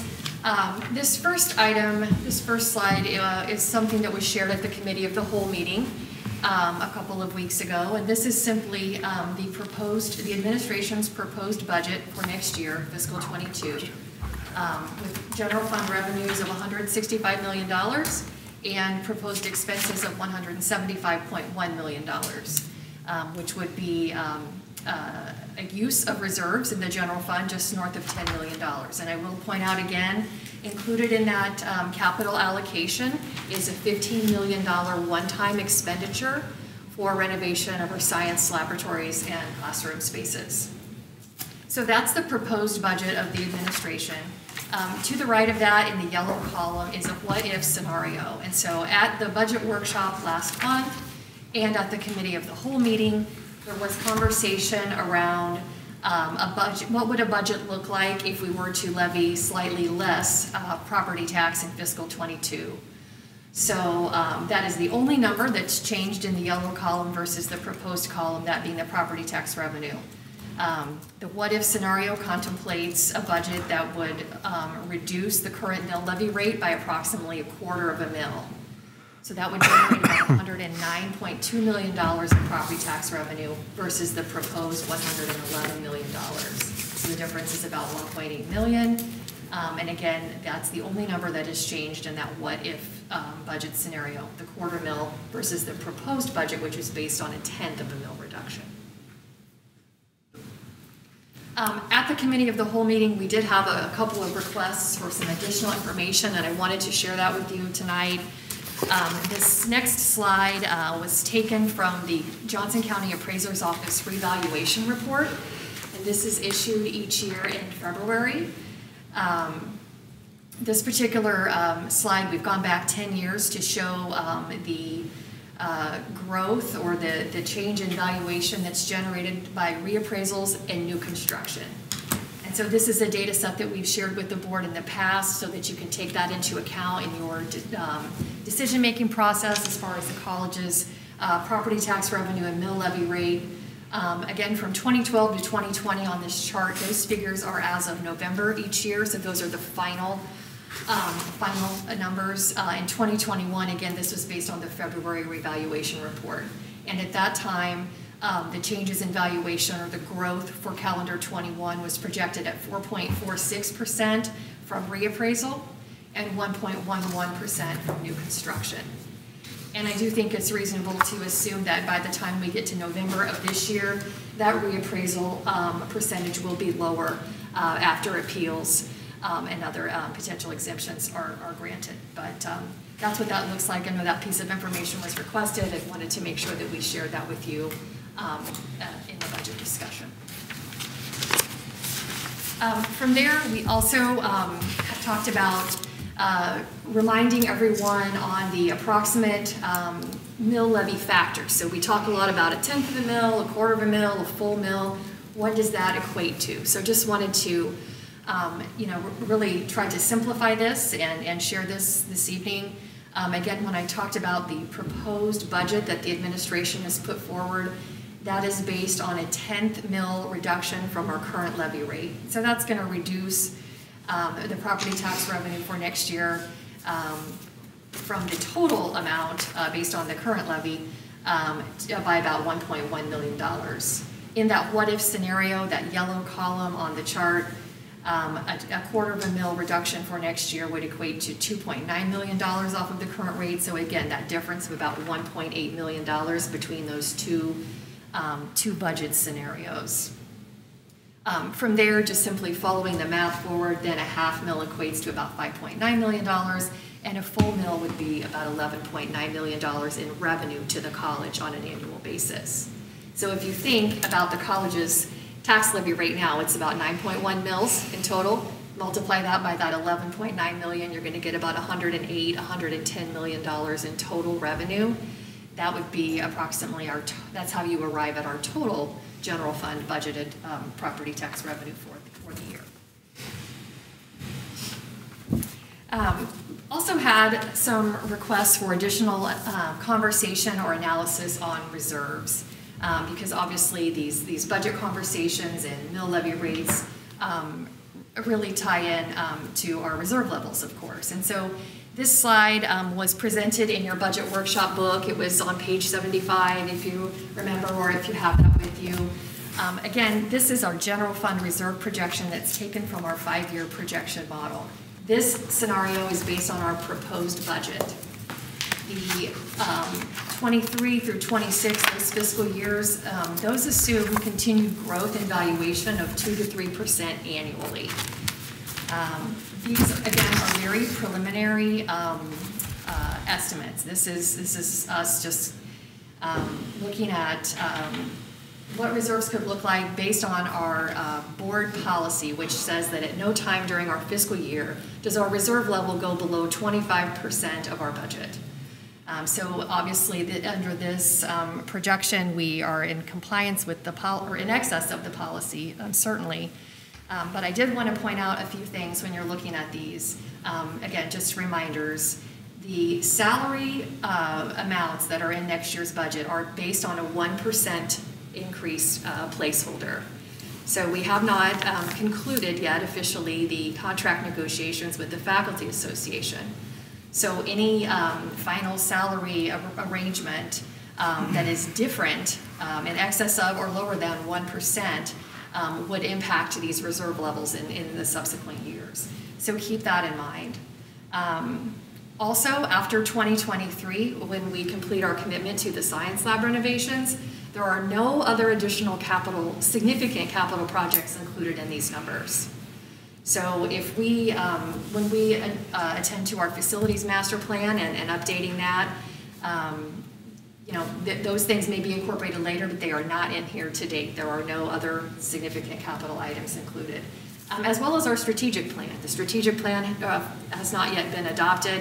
Any other um, initiatives or priorities that are identified through that process have not um, been, you know, costed out and, and identified and, and, put into these financial projections either. So, um, again, the, the growth here um, is, is very preliminary. Uh, this next slide talks, the, the previous one was based on the, the reserves based on the proposed budget. This would be based on that what if scenario. So if we did a quarter of a mill reduction instead of a tenth, what potentially would the reserve levels look like, again, at the low point in the fiscal year, which is generally December 31st, based, based on the timing of when we receive our revenues. Um, again, if you look at this chart, um, you'll see that it, it, grows. We've got the 2 to 3% growth assumed in those, those years 23 through 26. Um, but still haven't captured um, likely um, some new expenses that will incur in those years. So again, still in excess of our policy, but these numbers are lower than they were based on the tenth of a mil. Okay, so just two more slides here on reserves. Bear with me. Um, this, these next two slides are, even though it is a year away, these are intended to illustrate the potential impact of Senate Bill 13. So we have talked about Senate Bill 13 and know that it will um, require the college to provide additional notice to taxpayers if we um, levy taxes in an amount uh, greater than a revenue neutral rate. So what I have done in these projections to give a little bit of a, a different lens here is to say if we took away that two or three percent growth in, in um, valuations and that growth in tax revenue, then what would our general fund reserve projections look like? So you see here, rather than growing um, over time between now and 2026, um, it's, it's much more of a flat um, uh, look over the next five years. So again, this would be based on the proposed budget for 22, but looking farther out uh, with neutral tax revenue for the next five years. And Rachel, yes. when you talk about neutral, that means stagnant, status quo year to year? Yes. Okay. Yes. Same dollar amount in, in property okay. tax revenue, frozen. Um, then the next, oh, I went the wrong way, sorry. This next uh, final scenario then on reserves would be that quarter mil reduction with the neutral or, or level amount of tax revenue going out through 2026. So again, you can see still would be um, in excess of the current policy, which is 25% of reserves, but again, these projections and those out years don't include what I think will be um, you know, some, some additional expenses uh, that, have, that we have yet to identify um, with regards to salaries, capital, and strategic plan um, specifically.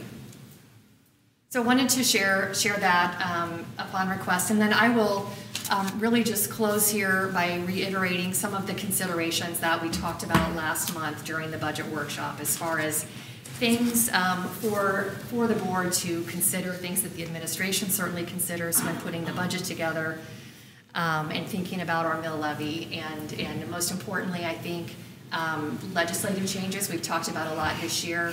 Um, we talked about Senate Bill 13 and the, the additional notice requirements that will be um, effective, again, not for fiscal 22, but for the year after, fiscal 23. Um, but bearing in mind that whatever we adopt tonight uh, for fiscal 22 serves as the baseline calculation for those for those years. Um, and then the um, the dark store theory, Trustee Ingram and I talked again yesterday about the continued threat of of the dark store theory and the potential negative impact on the college's property tax revenue from changes in commercial property valuation methods. So that's still out there. Um, of course, reserves, um, and we just went through a series of slides on reserves and want to make sure again that we're adopting a budget, um, a tax revenue amount, and mill levy rate that will enable us to continue to manage our reserve funds um, to not only to support planned one-time investments like the science lab renovations that we talked about, um, but also things that aren't planned, things that aren't in those charts, like the potential impact um, of, of negatively um, changing economic conditions um, or other unexpected circumstances, those kinds of things that we can't yet factor into a five-year projection model. Um, and also tying reserve levels again into the college's credit ratings. I mean, we know that currently the college enjoys very um, strong credit ratings from Standard & Poor's and, and Moody's, and if you if you read the reports that they, the ratings reports that they issue or speak to the college's financial advisors with um, Piper Jaffray, they, they always refer to the strength of our credit and uh, the key factors in that include the board's ability to raise revenues, set tax rates, set tuition rates, um, and, and really maintain a healthy financial position for the college, which again, those credit ratings in turn relate to our future um, cost of capital uh, as well. And then finally, the CFI score, we talked about that last month. We know that currently our CFI score is also very positive, um, and indicates that we're in a, a, great position to reinvest resources into the college um, to achieve our mission and fulfill our strategic plan priorities. Um, salaries and benefits, I talked about that. That's kind of a, a moving target yet in the budget. And then finally, strategic planning, and I mentioned that earlier, um, being able to ensure that we have resources adequate to uh, fund our strategic initiatives as they are developed and um, costed, if you will. Uh, remaining budget timeline, after tonight, we'll adopt the management budget, and then in August, as you mentioned earlier, Trustee Musil, we will hold our public hearing during the board meeting on the 19th. At that time, members of the public can come and address the board with any questions that they have about the legal budget. Um, and then from there, we will make sure that the documents are filed um, in compliance with the August 25th statutory deadline. So that's all I have for tonight. Um, take any final questions uh, that you might have. Trustee Cook. Thank you, Mr. Chair. Um, I, I, guess I have uh, two or three points. One is that, again, I will say uh, it puts us at risk if we use non-recurring revenue, non-recurring revenue for recurring expenditures. I always think that's important. Uh, Senate Bill 13 is going to be uh, interesting, and um, I, and at the same time, I do believe we need to lower the mill levy. Uh, staff has recommended a tenth, one tenth mill. I'm looking at the treasurer's report uh, that will deal with upcoming through March 31st, and we budgeted 28.7 million for tuition and fees, and through March we're at 25 million. Um, I'm not sure that we'll see an increase in the collection of tuition and fees in the next couple of months. Investment income, we budgeted at 600,000 and we're at 181. Where a year ago to date, we're at 1.1 million. I'm not sure what happened, but we budgeted half what we were going to take in in investments. And while it's relatively a small amount compared to the whole budget, $500,000 is $500,000. So I think we just need to be cautious about not assuming that all of our revenue collections will be the same as they have been in the past. So I think we really need to be cautious about how much we reduce the mill and how much, uh, but I do think we also need to lower our reserves. And I think you've done a nice job, Rachel, in explaining how we can do that. So uh, I, I, I guess those are my thoughts, Greg.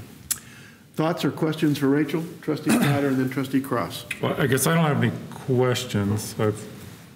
Proclamations, if you will. But okay. I, I, can save fine. that if you would like. Or have... I, am just going to let Rachel sit down if we don't have, if we don't think we have questions specifically. Trustee Cross. Briefly, could could we request a copy of that? That was uh, absolutely a, a, wonderful presentation, and I thank you for uh, your analysis uh, and your service. I thank you. So I, I guess, Mr. Chair, I will have a question. Okay. Is my assumption correct that our interest income is way below where it was a year ago? Correct, and that's because um, the the rates that the college can obtain on the permitted investments that community colleges can hold in the state of Kansas are are so low right now, um, especially in comparison to last year, like you noticed on the treasurer's report. Um, that is that's that's what caused has caused that decline in, in investment income. Thank you, Trustee Cross. And, and I thank Trustee Cook. I'm not tr trying to compete in any way. Uh, you said preliminary on the appraisals, right? Uh-huh. Rachel? Um, I think you're conservative in your, your numbers, right? Two and three percent? Uh, that the two and three percent is the assumed growth in the five-year projection model. Yes, I, I, hope that it's conservative. It's I know. I, am not yeah. trying to set anything up. I'm just trying to ask, like, we've seen greater numbers than that in Johnson County, right? In the past Yes, five, definitely. years, Yes. um, I think are ridiculous, but I'm happy for them. Um, So you're, you're, you, you have conservative assumptions, Yes. but what do you mean by preliminary? Um, I, I just mean that those are, those are the preliminary assumptions we've used in a five-year projection model. It- Without having any better information, um, those are, those are what we feel like are appropriately conservative to, to use in a five-year financial projection. And I, I think, um, Dr. Brown or somebody else could, could help me with this. I don't understand the way Senate Bill thirteen operates, so if we keep the mill the same and revenue goes up, that's a revenue, that's a non-revenue neutral position. So if we keep the mill wherever it is, or we, whatever, but we get, have increased revenues, that means we violated the revenue neutral requirement. You will- Yeah, you so we'll have to Take take- it back down to last year's level, and whatever mill levy that would justify, you have to vote to increase it. To take a dollar more than you did did the last year, you'll have to basically increase the mill levy. I mean, so this is targeted to us, all of Johnson County, where we enjoy these increased, I'm just saying, Yeah. or asking, I'm not trying to really cast any stone, but it seems that way. Um, I, I guess I want to ask you, maybe subject for debate, and I don't mean to put this on you, but, you know, all the financial news I follow, I, I think trustee Lawson may disagree with me, but there's a tremendous amount of uncertainty right now in commercial real estate. Um, As everyone is deciding when to go back. I know Lockton, where my wife works, is going to go back July 21st. I think as more and more corporations realize they're paying a lot of money for leases, they're going to have to go back. But I think a lot of corporations on both coasts are realizing that we don't have to pay that. So it's possible, right? We, we, I'm asking you, we face uncertainty in terms of how the economy is going to play out in the next two years. Is that Absolutely. right in your analysis? Absolutely. Thank you. Thank you, Mr. Chair. Oh, trustee Lawson, do you have a question for Ra- Rachel? Sorry. Uh, Yeah, no, thank you, uh, Mr. Chair. So I heard that the assumptions that the valuations will drop, but so far through 2022, home sales uh, have broken records. Uh, I mean, 2021, uh, home sales have broken the records, and so have landowner sale prices. And that is going to be used to set the property tax value. So every month that goes by, that sets the appraisal rates for everything going for, forward here. Uh, I, I guess I'm just confused because I've, I've talked about this every single time we've, we've had these budget meetings. And is the college anticipating an implosion that the rest of the real estate does not see right now? I think she's anticipating two to three percent as the, as the best information that our financial folks have. So it's not an implosion, but it's not the same rate we've grown over the last six years. Right, and, and I just want to make sure that, that I'm clear that the increase in valuation that we have in the budget for fiscal '22 for next year is 4.5%. And that's based on what we heard from the county appraiser, that we scaled back for pending appeals and exemptions and all of that. The 2 and 3% is what we've projected for '23, '24, '25, '26, without having any better information. Just, again, like trustee Cross mentioned, a conservative kind of approach, looking forward to into a five-year projection model. Then the amount for next year's budget is four and a half. Oh, okay. I just want to make sure that people are not saying that this is a housing bubble, because this is not. This is a housing shortage. I know during the housing bubble, there were at least 3 million more homes than they are right now in the market, and lending was very loose. So during a virus economy, lenders are very restrictive, and uh, people are still getting approved. Uh, so many have learned from the mistakes of 2008. So I just want to make sure that these assumptions are not based on the idea that this is a housing bubble. Uh, and then, should K through 14 become a reality that we're hearing at the federal level, and it could be done through rescission in the U.S. Senate, so it wouldn't need a 60 vote more margin in the Senate, how would this impact us? Which, which legislation are you talking about? I said if the K through 14, so college, community college comes Oh, part of K through 12, you know, how would this impact us?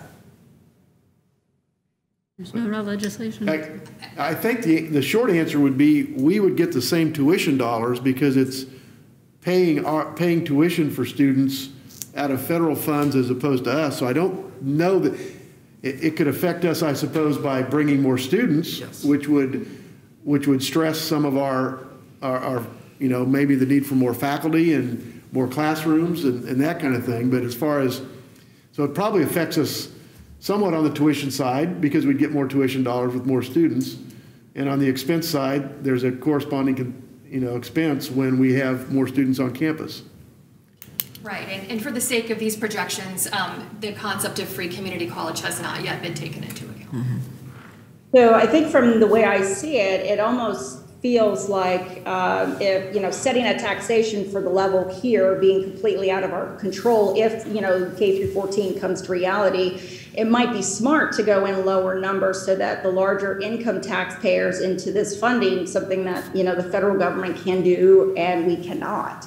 So uh, I know a lot of these things are unknowledgeable and we don't really have a grasp on them at this point, but I think because they are significant factors happening at the federal level, that it's still something to consider. Uh, and then the talk of dark store keeps coming up, but that matters a great deal at the city and school district level, at the county level where we are. We see stores close in one area of the county and, and move to another. So in fact, we are seeing you know, a lot of growth in western Johnson County and southern Johnson County and slower growth in the northeast core. So in the end, if Walmart closes a store in 75th and Quivira and reopens near DeSoto, it's a wash for the county, and so it's a net gain. So it's like I don't understand the why that keeps coming up because we are not a, a city or a school district, but the county is has very different impact for a dark store. I think the issue there is that we, we are county-wide, which helps us if a store closes and opens someplace else, although we, we don't get a net gain from that maybe. But if all of the large stores are valued at 50% of what they're valued today, that will lower the assessed valuation of the county.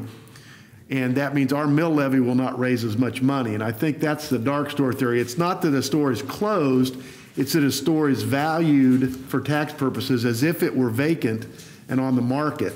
And that's what Rachel and her team are guarding against, at least the potential that the assessed valuation of the county is harmed or the growth is slowed because those large stores end up with a lower valuation than they have traditionally had.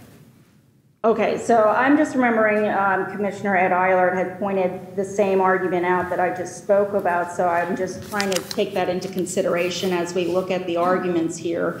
Uh, and in regards to commercial agents, uh, they are flooded. I, am not not seeing what Trustee Cross is talking about as far as commercial slowing down. I mean, I was just on the commercial uh, national conference just this last week, where you know there's a lot of discussions, a lot of changes going on for indus- industries and commercial uses and the different modes for housing and I'm in the mix of that. So there's a lot of things that are coming. So I'm just not seeing where these numbers are coming from and I'm trying to bring them to the table to say look this is this is different. I'm in the I'm in the grind here and in the trenches and I'm saying something is different. And I hope that uh, somebody's listening here. Um, may I, trustees, may I uh, let Rachel sit down? She will come back up, I know, if there are other questions. But yes. if we're going to discuss where we want to go, I think we have the information. Rachel, and I thank you for that. Sure, thank you. Other discussion? There will be at some point. Trustee Smith Everett. My questions are really around um, SB 13 and trying to get a really uh, black and white understanding of it.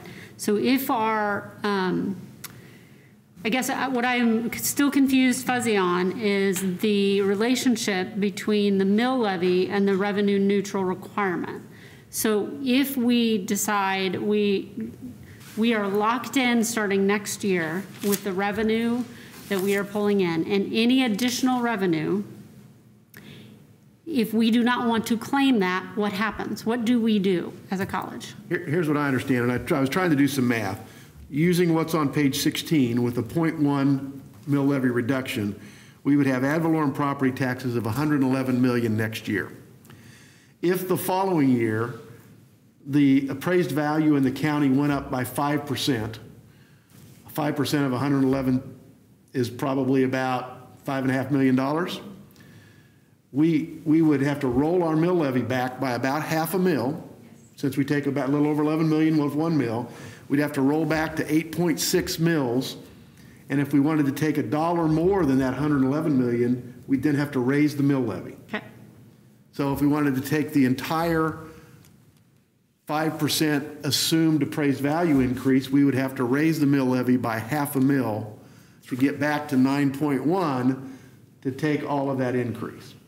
And a mill levy is $1 of tax per $1,000 of valuation. It's, a, it's an absurd, arcane way of dealing with property taxes, but that's the way we have to do it. Uh, My view is, regardless of what we have to, what we do tonight, we are going to have, we are going to be forced by Senate Bill 13 to vote on an increased mill levy next year. Um, Given, given all the circumstances that we have, including what we'll learn later in the negotiations, um, we're going to need more than $111 million next year, or $109 million if we reduce the mill levy by 0.25 this year. We're going to need more than that next year, and we're going to have to raise, vote to raise the mill levy after it's artificially reduced Mhm. to be revenue neutral, if that makes sense. So, And mail notice to every taxpayer. That's, We have yeah. to. yeah, and I, you probably couldn't hear Rachel on the, on the Zoom, but um, if, if we intend to take an extra dollar, notice has to be sent to every taxpayer in Johnson County, and then we have to hold a separate, or a public hearing to allow people to come in, as we do with every year with a public hearing, uh, to talk about that increased mill levy to take any additional dollars. So that, that's the process that we have next year, unless next year's legislature changes it, which I doubt. So we're, we're stuck with that process, and I don't, I don't want to, I've got comments later about Senate Bill 13, but I don't want to run from that in doing the right thing on the budget. And Dr. if I, if I could add, so you're talking about if we were to keep, the go to attract the additional, uh, capture the additional $5 million. If we were to say, you know what, next year, we only want to capture $3 million out of that 5 million, five and a half million, we would still have to be, even though it's less than what the increase in valuation is, and therefore tax dollars, we would be still asking for an increase, but at a lesser amount. So even though we're asking less than historic practice around mill levy and, and the rate, uh, we'd be asking for less. We're still asking for more. The only way you're not asking for more is if you cap it at the, whatever it is this year. Trustee Cross. Yes, and just, just to learn this point, I mean, don't we already kind of do this already anyway? I mean, except the mailing out bit, like, we, we, we give notice every year that we're, we're gonna do something with the budget, right? Am I following? Mm-hmm. Yes. So for a lot of people that hate government, this sure seems like make work for government. This is to ensure that if you want to take another dollar out of the growth in the county, you vote to increase your mill levy to do so. So we're just wasting staff time doing, It's a math, it's a math and a political issue. right, all right, thank you. Uh, Other comments on, I think, I think what we heard from the committee of the whole is that the administration's recommended a 0.1 mill levy increase. That's correct. Decrease. 0.1 mill levy decrease, there you go. Um, And there was discussion about uh, a 0.25 mill levy decrease that Rachel pointed out in other slides. Um, So I think those are probably the alternatives uh, for us tonight, and I, I, I suppose we ought to speak to those, and I don't expect to have a motion first, but if anybody has comments on those two as alternatives, trustee Snyder? Uh, Thank you, Mr. Chairman. Well, at the committee of the whole, I I, uh, expressed an interest in, in going to a quarter mil reduction, if not more. Uh, Still tonight, um, I support a quarter mil reduction and, and would be happy to make that motion at the appropriate time. Would like to explain my thinking on that. Uh, When I started, or not necessarily started, but, but certainly uh, started investigating the college's budget in 2017 in anticipation of running for this seat, uh, we, we received $90 million in property tax revenue, 90.5 million. And uh, as it's been mentioned, we are set, even with a reduction, to receive 109 million next year. That, that is an extraordinary increase in property taxes that no jurisdiction across the country would generally plan on, on receiving. There are a lot of people that went through the past, I guess, 14 months now uh, and came through it absolutely fine. But there are a lot of people in our county that are, are really struggling with different issues. And when I look, and I know colleagues, uh, you know, around the county, certainly legislators in Topeka, look at our, our reserve levels, that is why we end up with things like Senate Bill 13, in my opinion.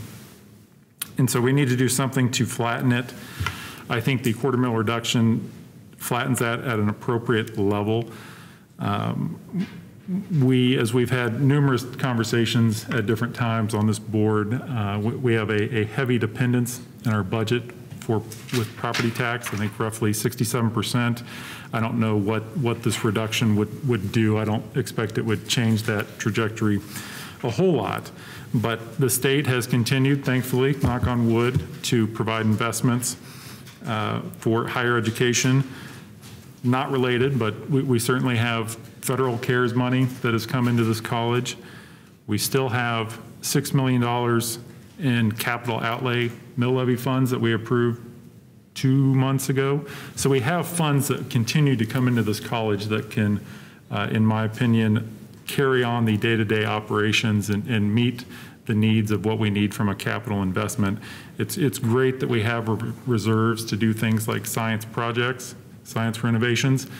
Uh, reserves are, are not necessarily designed to, to be a capital spending savings account. It, it's great when that occurs, and, and maybe there's a small portion, but, but ours has gotten too heavy, and I think this is a, a reasonable way to move forward. As Trustee Lawson highlighted, I, I, I don't believe valuations are going to go down. If anything, I think they're going to continue to go up, and we're going to have robust uh, ability to, to raise revenue. Uh, I will commit, uh, if I am fortunate enough to be back here next year, I am fully prepared to, to vote to um, adjust our mill levy so we get the resources we need and, and not be hamstrung by, by Senate Bill 13. So th those are my, my thoughts. I think I covered everything that I would like to cover, and those are my rationale so that when we have an opportunity to, to make a motion, I'll be making that motion. Trustee Cook. Uh, Thank you, Mr. Chair. Um, I would remind us that 79% of our expenses are salary and benefits, and I appreciate your comment about the capital outlay fund. I I don't want the public to think that that can be used for anything. That is to be used only for capital outlay. Uh, I I wouldn't want to put too much of a burden on our operating expenses of salary and benefits and operating. Uh, Again, I, I guess I go on 12 years. Uh, I have the highest regard for our staff and uh, the work that uh, Ms. Lierz does along with her teammates. Uh, The administration has come with a recommendation of a .1 mill levy reduction. I'll support that rather than the .25. Um, And I think they have said we could, we could probably get by with the .25, but this college has had those reserves and has had the great financial standing with all of our agents because of the great work that our team does. So I'll be supporting the staff budget recommendation of .1 mill levy decrease.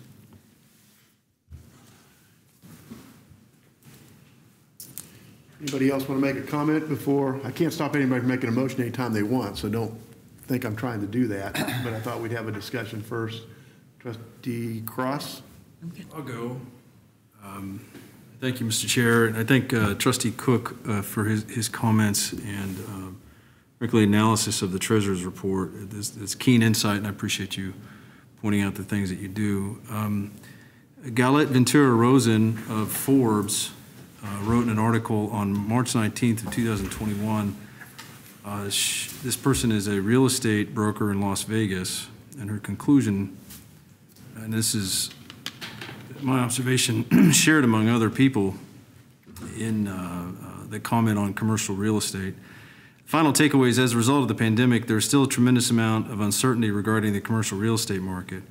However, despite the pandemic, uh, numerous investors continued to be involved in the market, though problems related to site visits, assessments, and contract signing often delayed the process, as was common in the pandemic. There's still stable CRE sectors that have continued to perform well that investors should look at to forward, look forward to and investing in. These include e-commerce, warehouses, self-storage facilities, some store, grocery stores, and medical retail spaces. And I think that squares with what Trustee Lawson has said, that there will be opportunities in, in this market. So even after the pandemic, these spaces will continue to flourish. I, I'm merely stating that there's uncertainty. And, um, you know, I've said some of this before, but, you know, generally as we enter in our second uh, half century of existence here, that, that we should continue to reinvest any additional funds in our uh, student, faculty, and staff. Uh, $10 million for College Promise, I mean, that, that's really exciting. Uh, but I think that we should perhaps, in a radical move, consider letting some of those pitches go by, let our sister schools that are dying on the vine, as some mentors here and other colleagues have told me, uh, they need the money, and I think we should start our own college promise. And the difference between 0.25 and 0.1 alone is a start, let's say. So I generally oppose any cut to the mill levy because I do think we, we should reinvest in the college. Uh, specifically, the extra tax revenue should go to lower tuition or, or strengthen our move to a cost-free community college for all, or at least at a last dollar effort. Um, a majority of the remaining balance should be used to compensate our faculty and staff as they are on the front lines and directly help produce uh, our greatest product here at JCCC, and that's our students.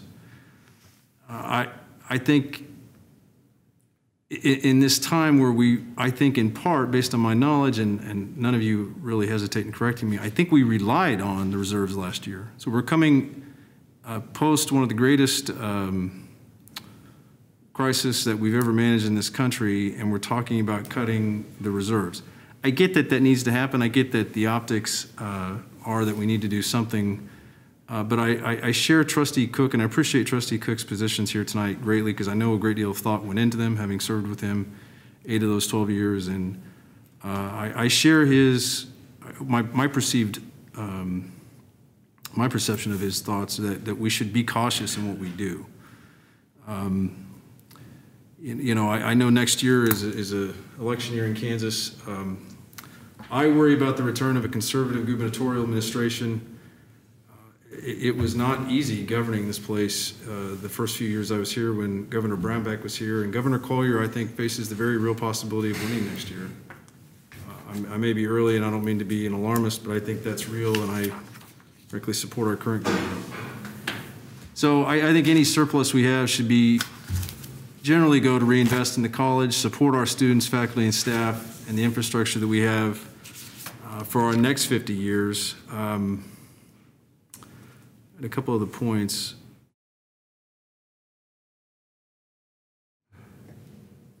Uh, hang on, please, and let Trustee Cross finish.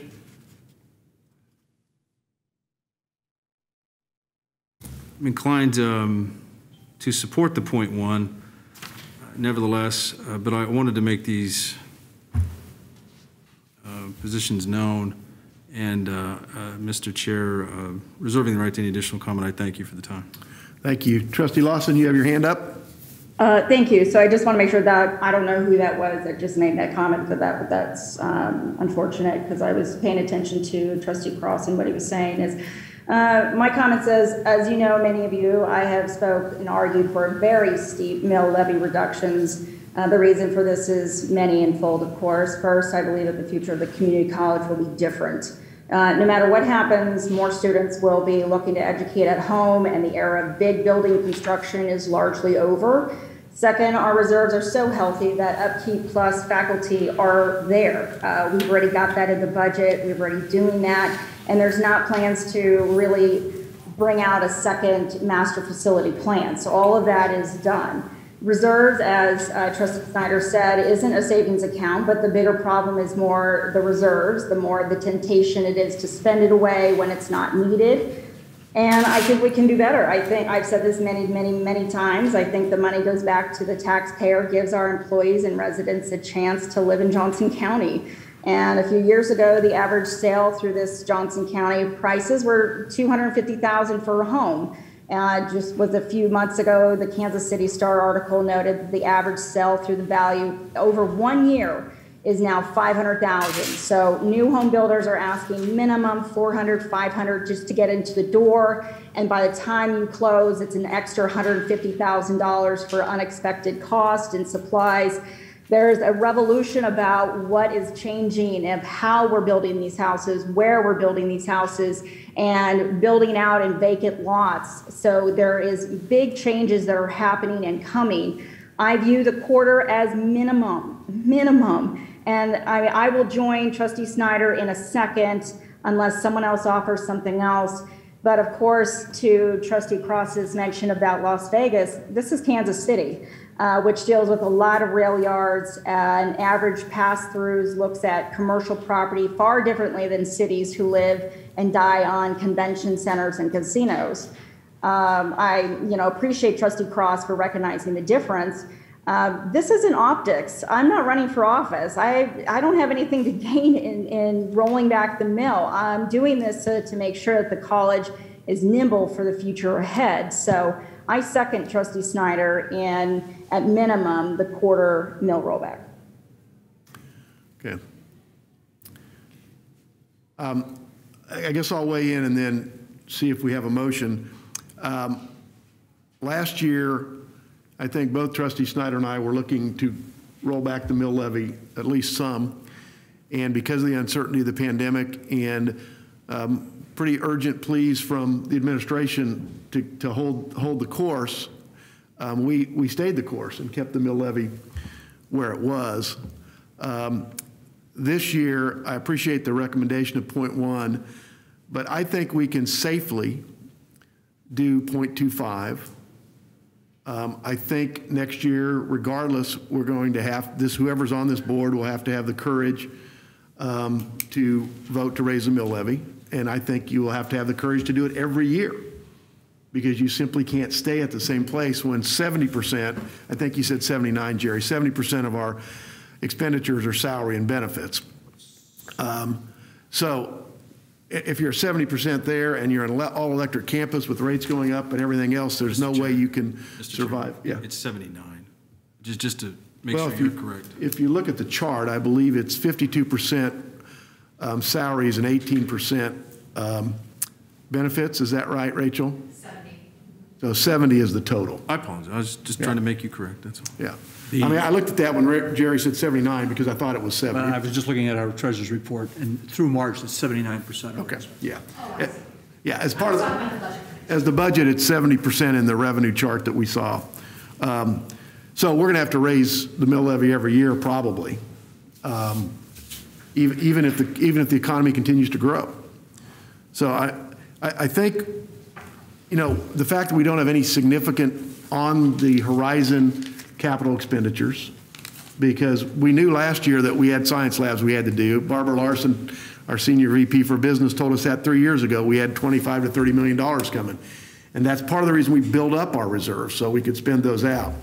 Um, And I agree, trustee Snyder, it shouldn't be an account just for capital expenditures. What it allows us to do is not borrow. Our, our debt load at this college is very low, even with the $50 million that we, 50, 55 million we borrowed for the facilities master plan. We still have a very, very low debt load and a very, very low interest rate. So we don't have significant capital expenditures coming, coming for, in, in, in the next couple years. Um, Credit ratings and financial ratios are important, but um, I think what I would look for next year is show us where we are on the financial ratios with various scenarios, uh, number one, and show us uh, what our credit rating, what our credit rating, not only what it might be by our credit rating agencies, but also, does that mean we pay uh, 100 basis points more or 50, or what the actual impact is? Um, I'm going to throw something out that I think may fly in the face of some other theories, but I, I think we need to look at a tuition increase because I, I think Trustee Cross is right. I don't think we're going to get more money from the state um, as far as the over, overall percentage of the budget. And if you look at it, the state is at its lowest percentage in 10 years, 14%. This is, the- this is the information that was submitted yesterday. Our tuition is at its lowest percent of the budget at 17% for next year that it's ever been. Um, And I, we haven't, we've raised tuition $1 over the last, once in the last six years. That was four years ago. Um, I don't think tuition keeps people out of here. I think other costs that we need to get a handle on um, are what are barriers to students to come here. And I think the promise programs um, coming potentially from the state or from the federal government, whether the last dollar or first dollar, are going to help help us in that sense and help students come. Um, but all in all, we, we can give another, as I understand it from Rachel's slides, $2 million in property tax relief by going from 0.1 to 0.25. Um, and we will still not threaten our reserve ratios under the scenario she projected, um, which, I, which I do think is conservative. And uh, as to Senate Bill 13, I, I, I brought the last four years' budget books that I could find in my files. And I just want to tell the public in every one of these, there are charts and there are tables that show exactly how much money we were going to take in last year and the new budget year. And it explains what the mill levy means and how much more money we get when assessed valuation goes up. So I, I just want to make it clear from a transparency standpoint, Senate Bill 13 doesn't do anything, as you mentioned, Trustee Cross, we haven't already done, except send out notices and force a vote to raise the mill levy. Um, and I, am willing to do that. Also, on Senate Bill 13, I have to say it, uh, I looked it up earlier. State of Kansas gets 20 mills.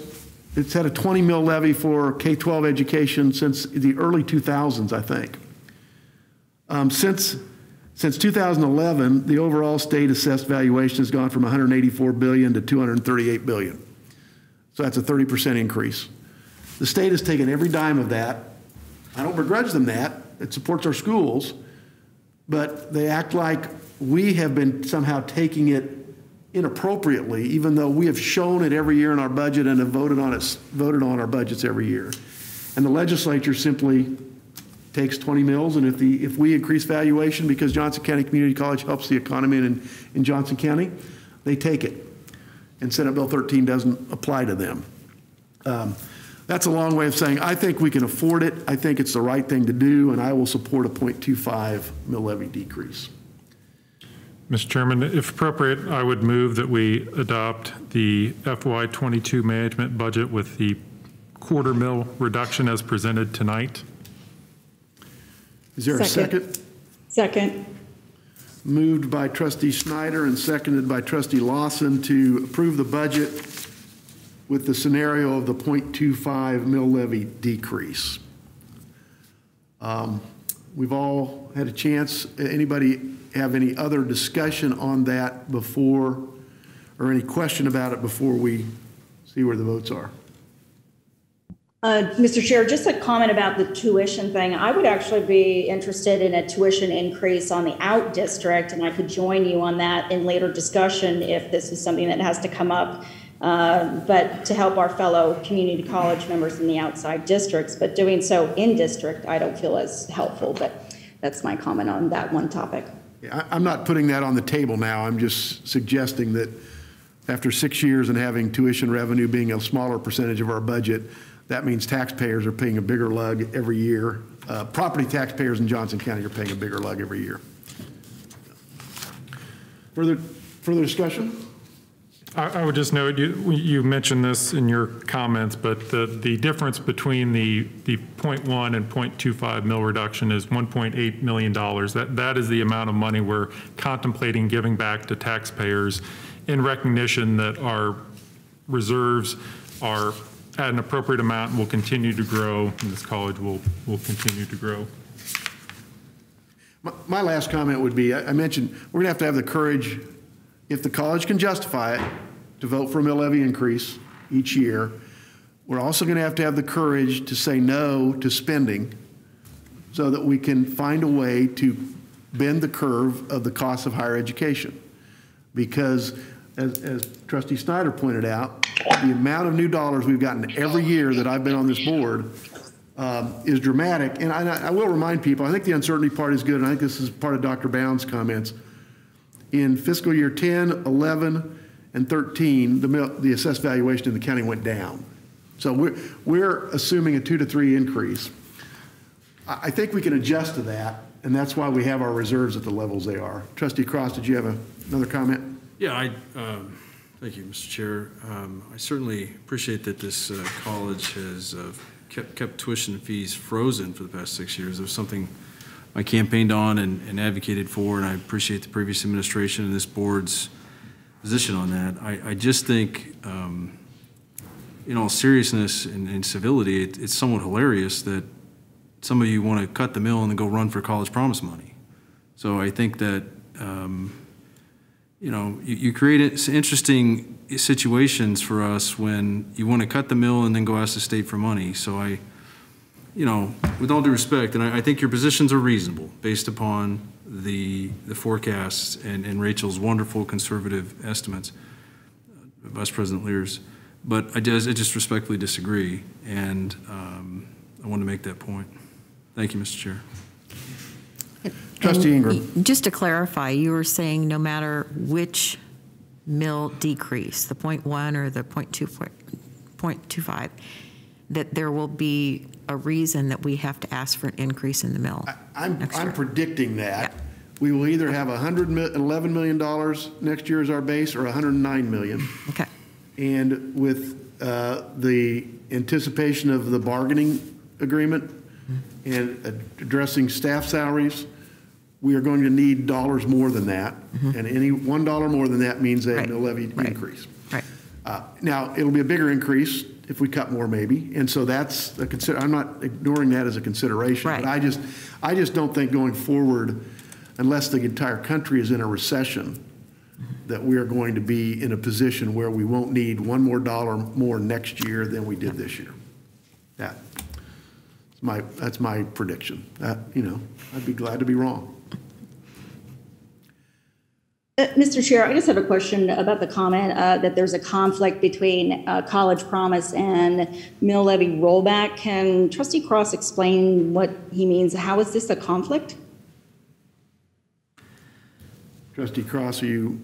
I, I have nothing more to add. I, I think it speaks for itself. I- Okay, I just don't feel like it's at odds, so I disagree. All right, um, nobody has called the question, but I'm going to um, call for the vote. All those in favor of the motion, well, I think we probably ought to vote by roll call on this because I don't, I I don't know where we're going to go. So let's, I'm going to call, call the roll and I'll go by officers and seniority. Trustee Snyder? Aye. This is on a, on a .25 decrease. Uh, Trustee Cross? No. Trustee Ingram? No. Trustee Cook? No. Trustee Lawson? Yes. Trustee Smith Everett? No. Chair votes aye. The motion fails four to three.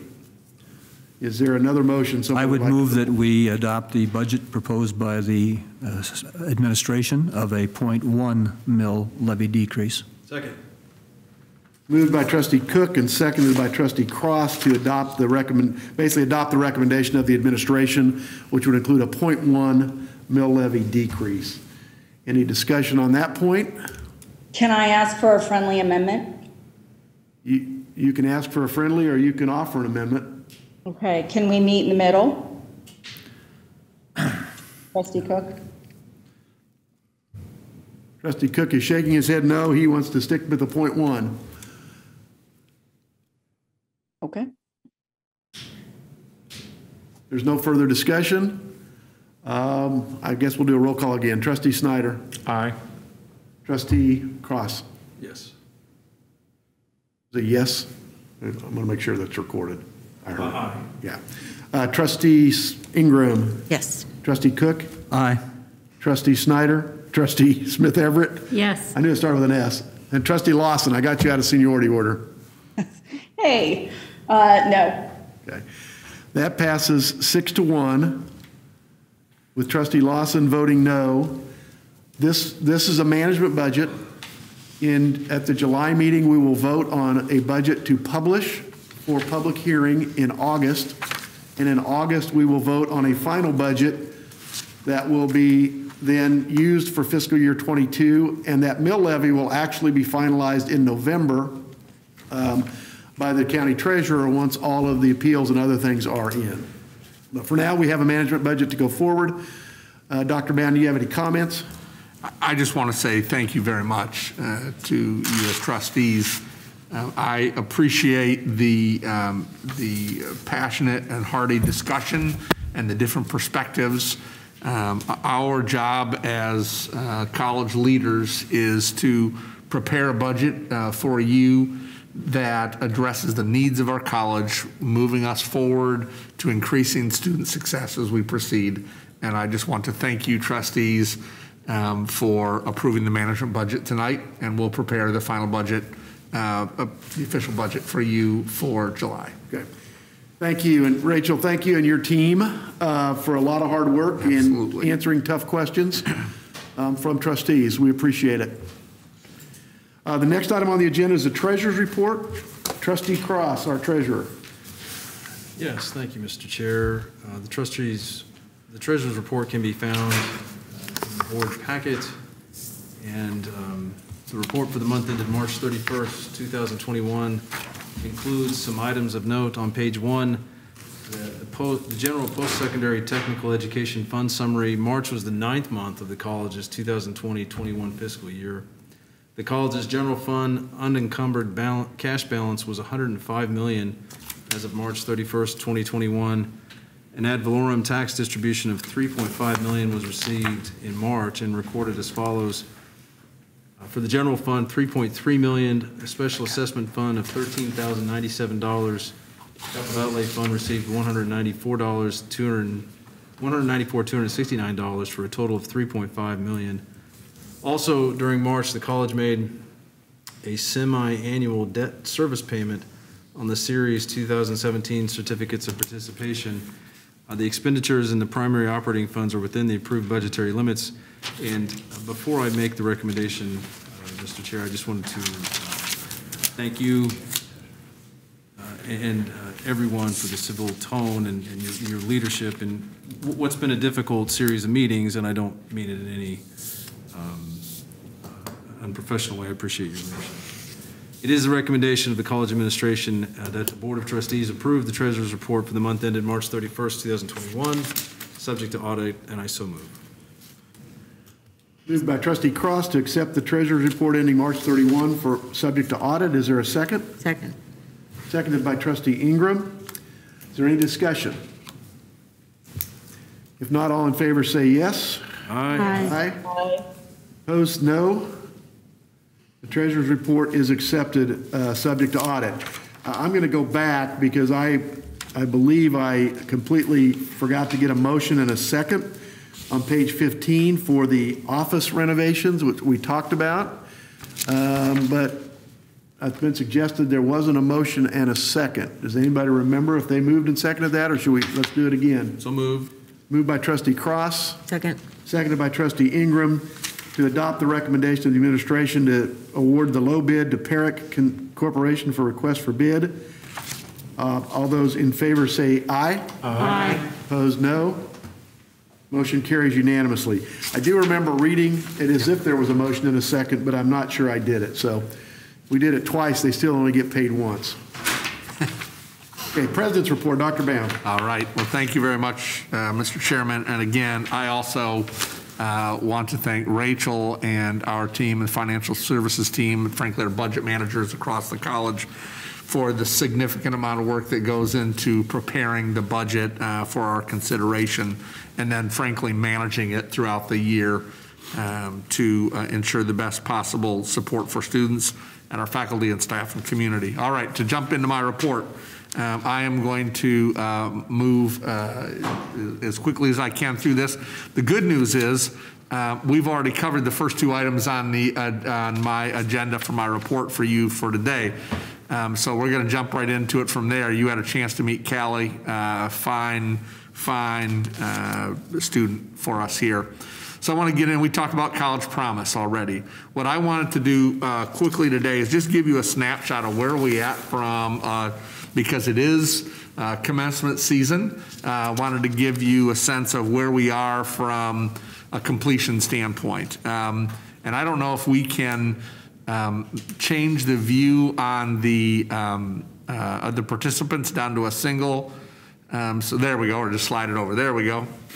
Um, anyways, I wanted to give you a sense of kind of where we're at, realizing that the numbers for this year, the far right column, 2021 uh, total uh, number of, of degrees and uh, certificates, realize that those are preliminary numbers based on uh, those who have a Summer and fall are, are solid numbers. The spring numbers are based prior to graduation audit. And so, um, anyways, when I look at that to give you a sense, um, this would point us in the direction of about 3,000 students graduating with either an associate degree um, uh, or a certificate. Um, when I look at, you'll see that there's a, uh, well, you won't see that because you're only seeing one year's worth of data. But if you look at the certificate number, that isn't that is down noticeably over last year. Last year we had about 1,300 um, certificates that are awarded, that were awarded. Um, the primary areas that we've seen a, a decrease um, are in three areas that account for about half of the decline in certificates from this past year. CNA, our police academy graduates, and our EMT graduates. And again, much of this is due to COVID, um, particularly in, in, the area of, of CNA and being able to get clinical placements and so forth for them. Um, so we've reduced class sizes this year, which resulted in a significantly lower number of certificates. Um, we're hoping that those asterisks are there um, and that um, as we move forward that those numbers will rebound. But certainly um, you know, we saw a decline, um, you know, at the tail end of the spring semester last year, those who withdrew from classes and so forth related to COVID, and their enrollment has been down between 7 and 8% this year. Um, when you look at that, that to me is also a contributor more to the um, decline in certificates than it is uh, perhaps on the associate degree um, side of the equation. So um, I, I, before we get real excited about these numbers, because I will say this at this point in time, um, you know, our associate degree awards are higher than they were last year, but our students have to go through the audit pro graduation audit process that doesn't happen until after the semester is done and all final grades are submitted and so forth. So that number is likely to move downward. Uh, in addition to that, wanted to talk real quickly about summer and fall plans. Um, I will say just very quickly from a summer uh, enrollment standpoint, we're up 4% in head count and 1% in credit hours. Um, remember, we are we started the registration process 15 days earlier than we did last year. So it's it's when we we can compare date to date. There's a 15 day gap on uh, you know Head Start this year compared to last year. So um, while our numbers are up compared to last year, um, we're seeing that gap start to close. Um, when, when we look at, we we talked about, and, and uh, Dr. Leiker referenced this uh, earlier today uh, in our meeting, the plan is for all employees who are scheduled to work on campus to be here beginning June 7th. Um, and, and so we will continue to work through uh, you know, the, the ever evolving um, uh, guidelines that come either from a, a, local or state standpoint, and now with CDC um, changes that are happening as we speak. Well, not as we speak, but happening today already. Um, continuing education for summer um, is about 51% of their courses will be offered, programs are offered uh, in person and 48% are live online, synchronous online. Um, and they, they're offering about 657 courses uh, this summer. Uh, they, their enrollment as of date is over 1,800. Um, That's down from two years ago, but boy, is that dramatically up over last year. Um, Our summer term here on campus will be a very typical looking summer in terms of, of, of uh, being predominantly face-to-face, excuse me, predominantly online courses um, over the summer. As we look to fall, um, uh, and, and we referenced it in the communication earlier this week, um, we are um, certainly looking at increasing capacity in our courses by reducing um, distancing. Um, you know, as, as recently as today, as I mentioned, the CDC guidelines are changing, um, and those are going to be the, the, the complexities that we will need to manage through over the summer um, as we prepare to meet student needs. Um, certainly, the opportunity to offer more face-to-face, in-person classes um, to meet student demand is a, uh, something we're working through as well. Um, we will continue to offer a robust set of online and hybrid courses to meet the needs of students that are seeking those options. But we also want to make sure that we're able to meet the needs of students who want to come to campus for their courses, for services, for involvement in clubs and organization. And so there's lots of work that needs to happen between now and the start of fall semester. Um, and uh, I know our team uh, of faculty and staff are up to the challenge. Um, this, the um, second to last item on my uh, report is uh, last year, uh, just short of a year from uh, a year ago, we were having you were having discussions about Juneteenth, um, and the the group um, from faculty development, staff development, and student life um, are working on a strong set of programming for us to celebrate and recognize Juneteenth. Um, they are working on, I'm not going to say who it is yet because they're finalizing an agreement with uh, a national level speaker to come in and um, it will be a name that you recognize. Let me just put it that way. Um, um as we um, prepare for a, a, a, night of programming on the 14th, um, including faculty, staff, and students. we'll also be recording that and making that available for those who can't attend. We'll be using uh, our communication strategies internally with InfoHub and other sources to make sure that we're communicating. Where are the opportunities, not only for us as a college, but across the community to engage in deepening our understanding um, and uh, honoring uh, Juneteenth. Our history faculty are working to create um, a Canvas module that faculty across the college can use um, in their summer courses and beyond, but particularly for summer courses um, to help students understand uh, the significance and importance of Juneteenth.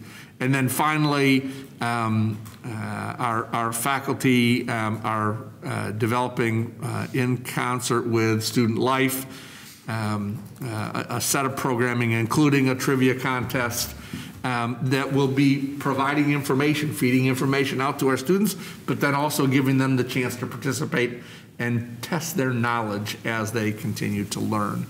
Um, and so this is, um, you know, as you think about our discussions over this year, um, uh, the outcome of, of previous discussions was we would this year take on additional programming um, from a cultural development standpoint. And so this is the plan for um, this year. Last slide um, is I want to thank um, um, our faculty and staff um, for working their way so well through an incredibly challenging year. Our faculty and staff and our students. Um, we couldn't do it without the innovative spirit of our faculty and our staff uh, to find new ways to meet the needs of our students um, the way we deliver courses, the way we deliver services um, uh, is, is greatly appreciated. To our IRT and return to campus teams, our facilities teams have really done a fantastic job of, of ensuring that we have protocols that, for all intents and purposes, did a pretty good job of keeping each other safe during an incredibly challenging year. Um, I want to thank you as trustees for your leadership um, through this year.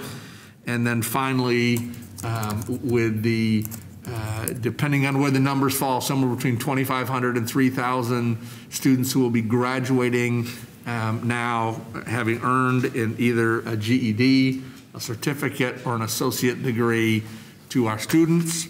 Thanks to our faculty and staff for their tremendous work. Congratulations, JCCC class of 2021. That concludes my report. Well said. May I ask on the June 14th event, is that, it said attend, so is that planned to be in person? That it will be a virtual event. Okay. Um, Yes, it will be a virtual event. Okay. Questions for Dr. Bowne? I had the same question, thank you. Okay. Trustee I- Ingram? I just have a comment. I really appreciate your thanks to the staff and faculty.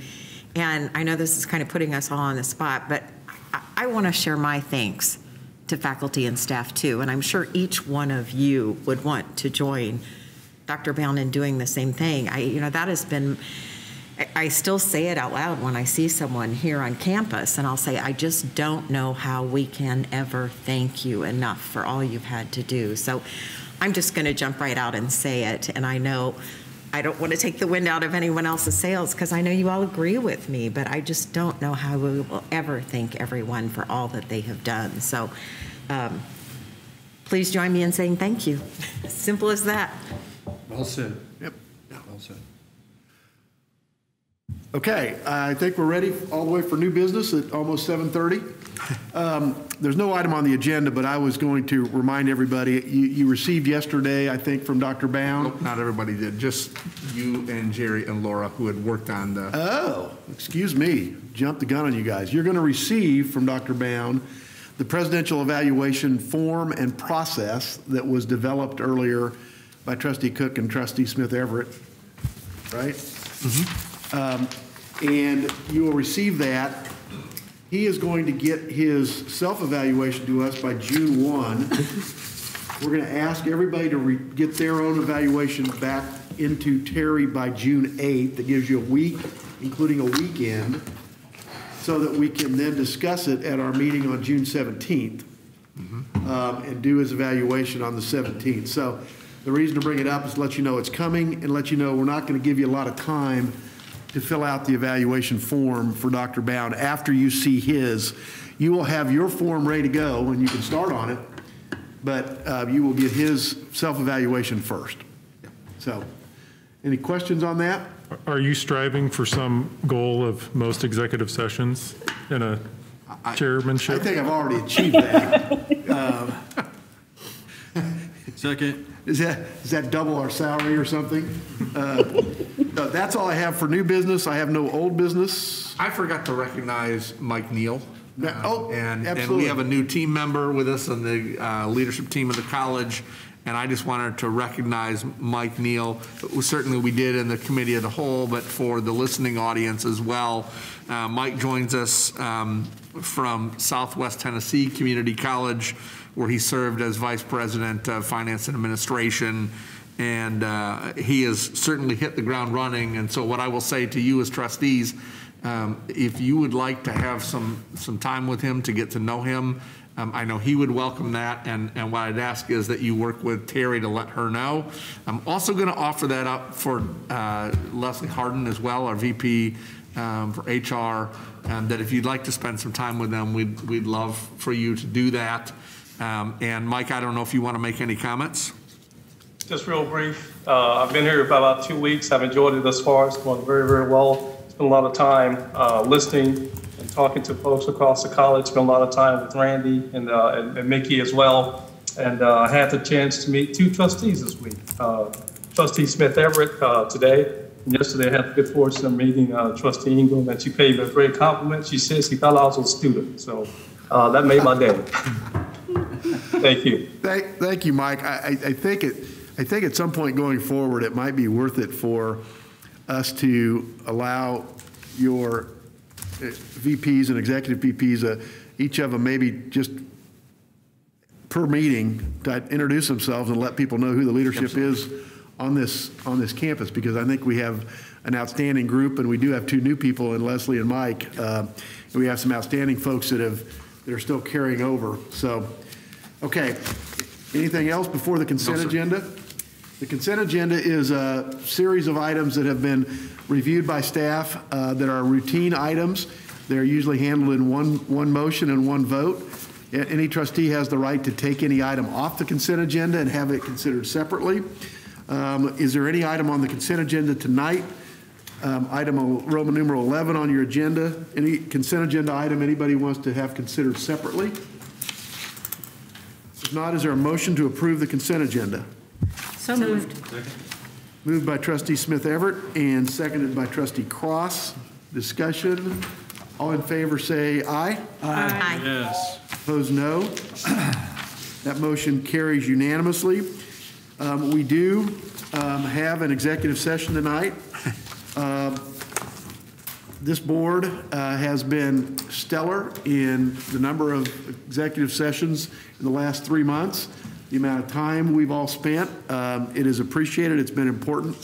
And as Dr. Riker indicated, it's, uh, we think, led to an agreement in uh, negotiations with the faculty union that will allow us to have stability for the next three years. So I would like to entertain a motion to go into executive session for the purpose of discussing employer-employee negotiations. No action will be taken during the session. The executive session will last for one hour, beginning at 7:35 PM and ending at 8:35 PM, at which time open session will resume at this same location for those in person and by the Zoom video conference for the rest.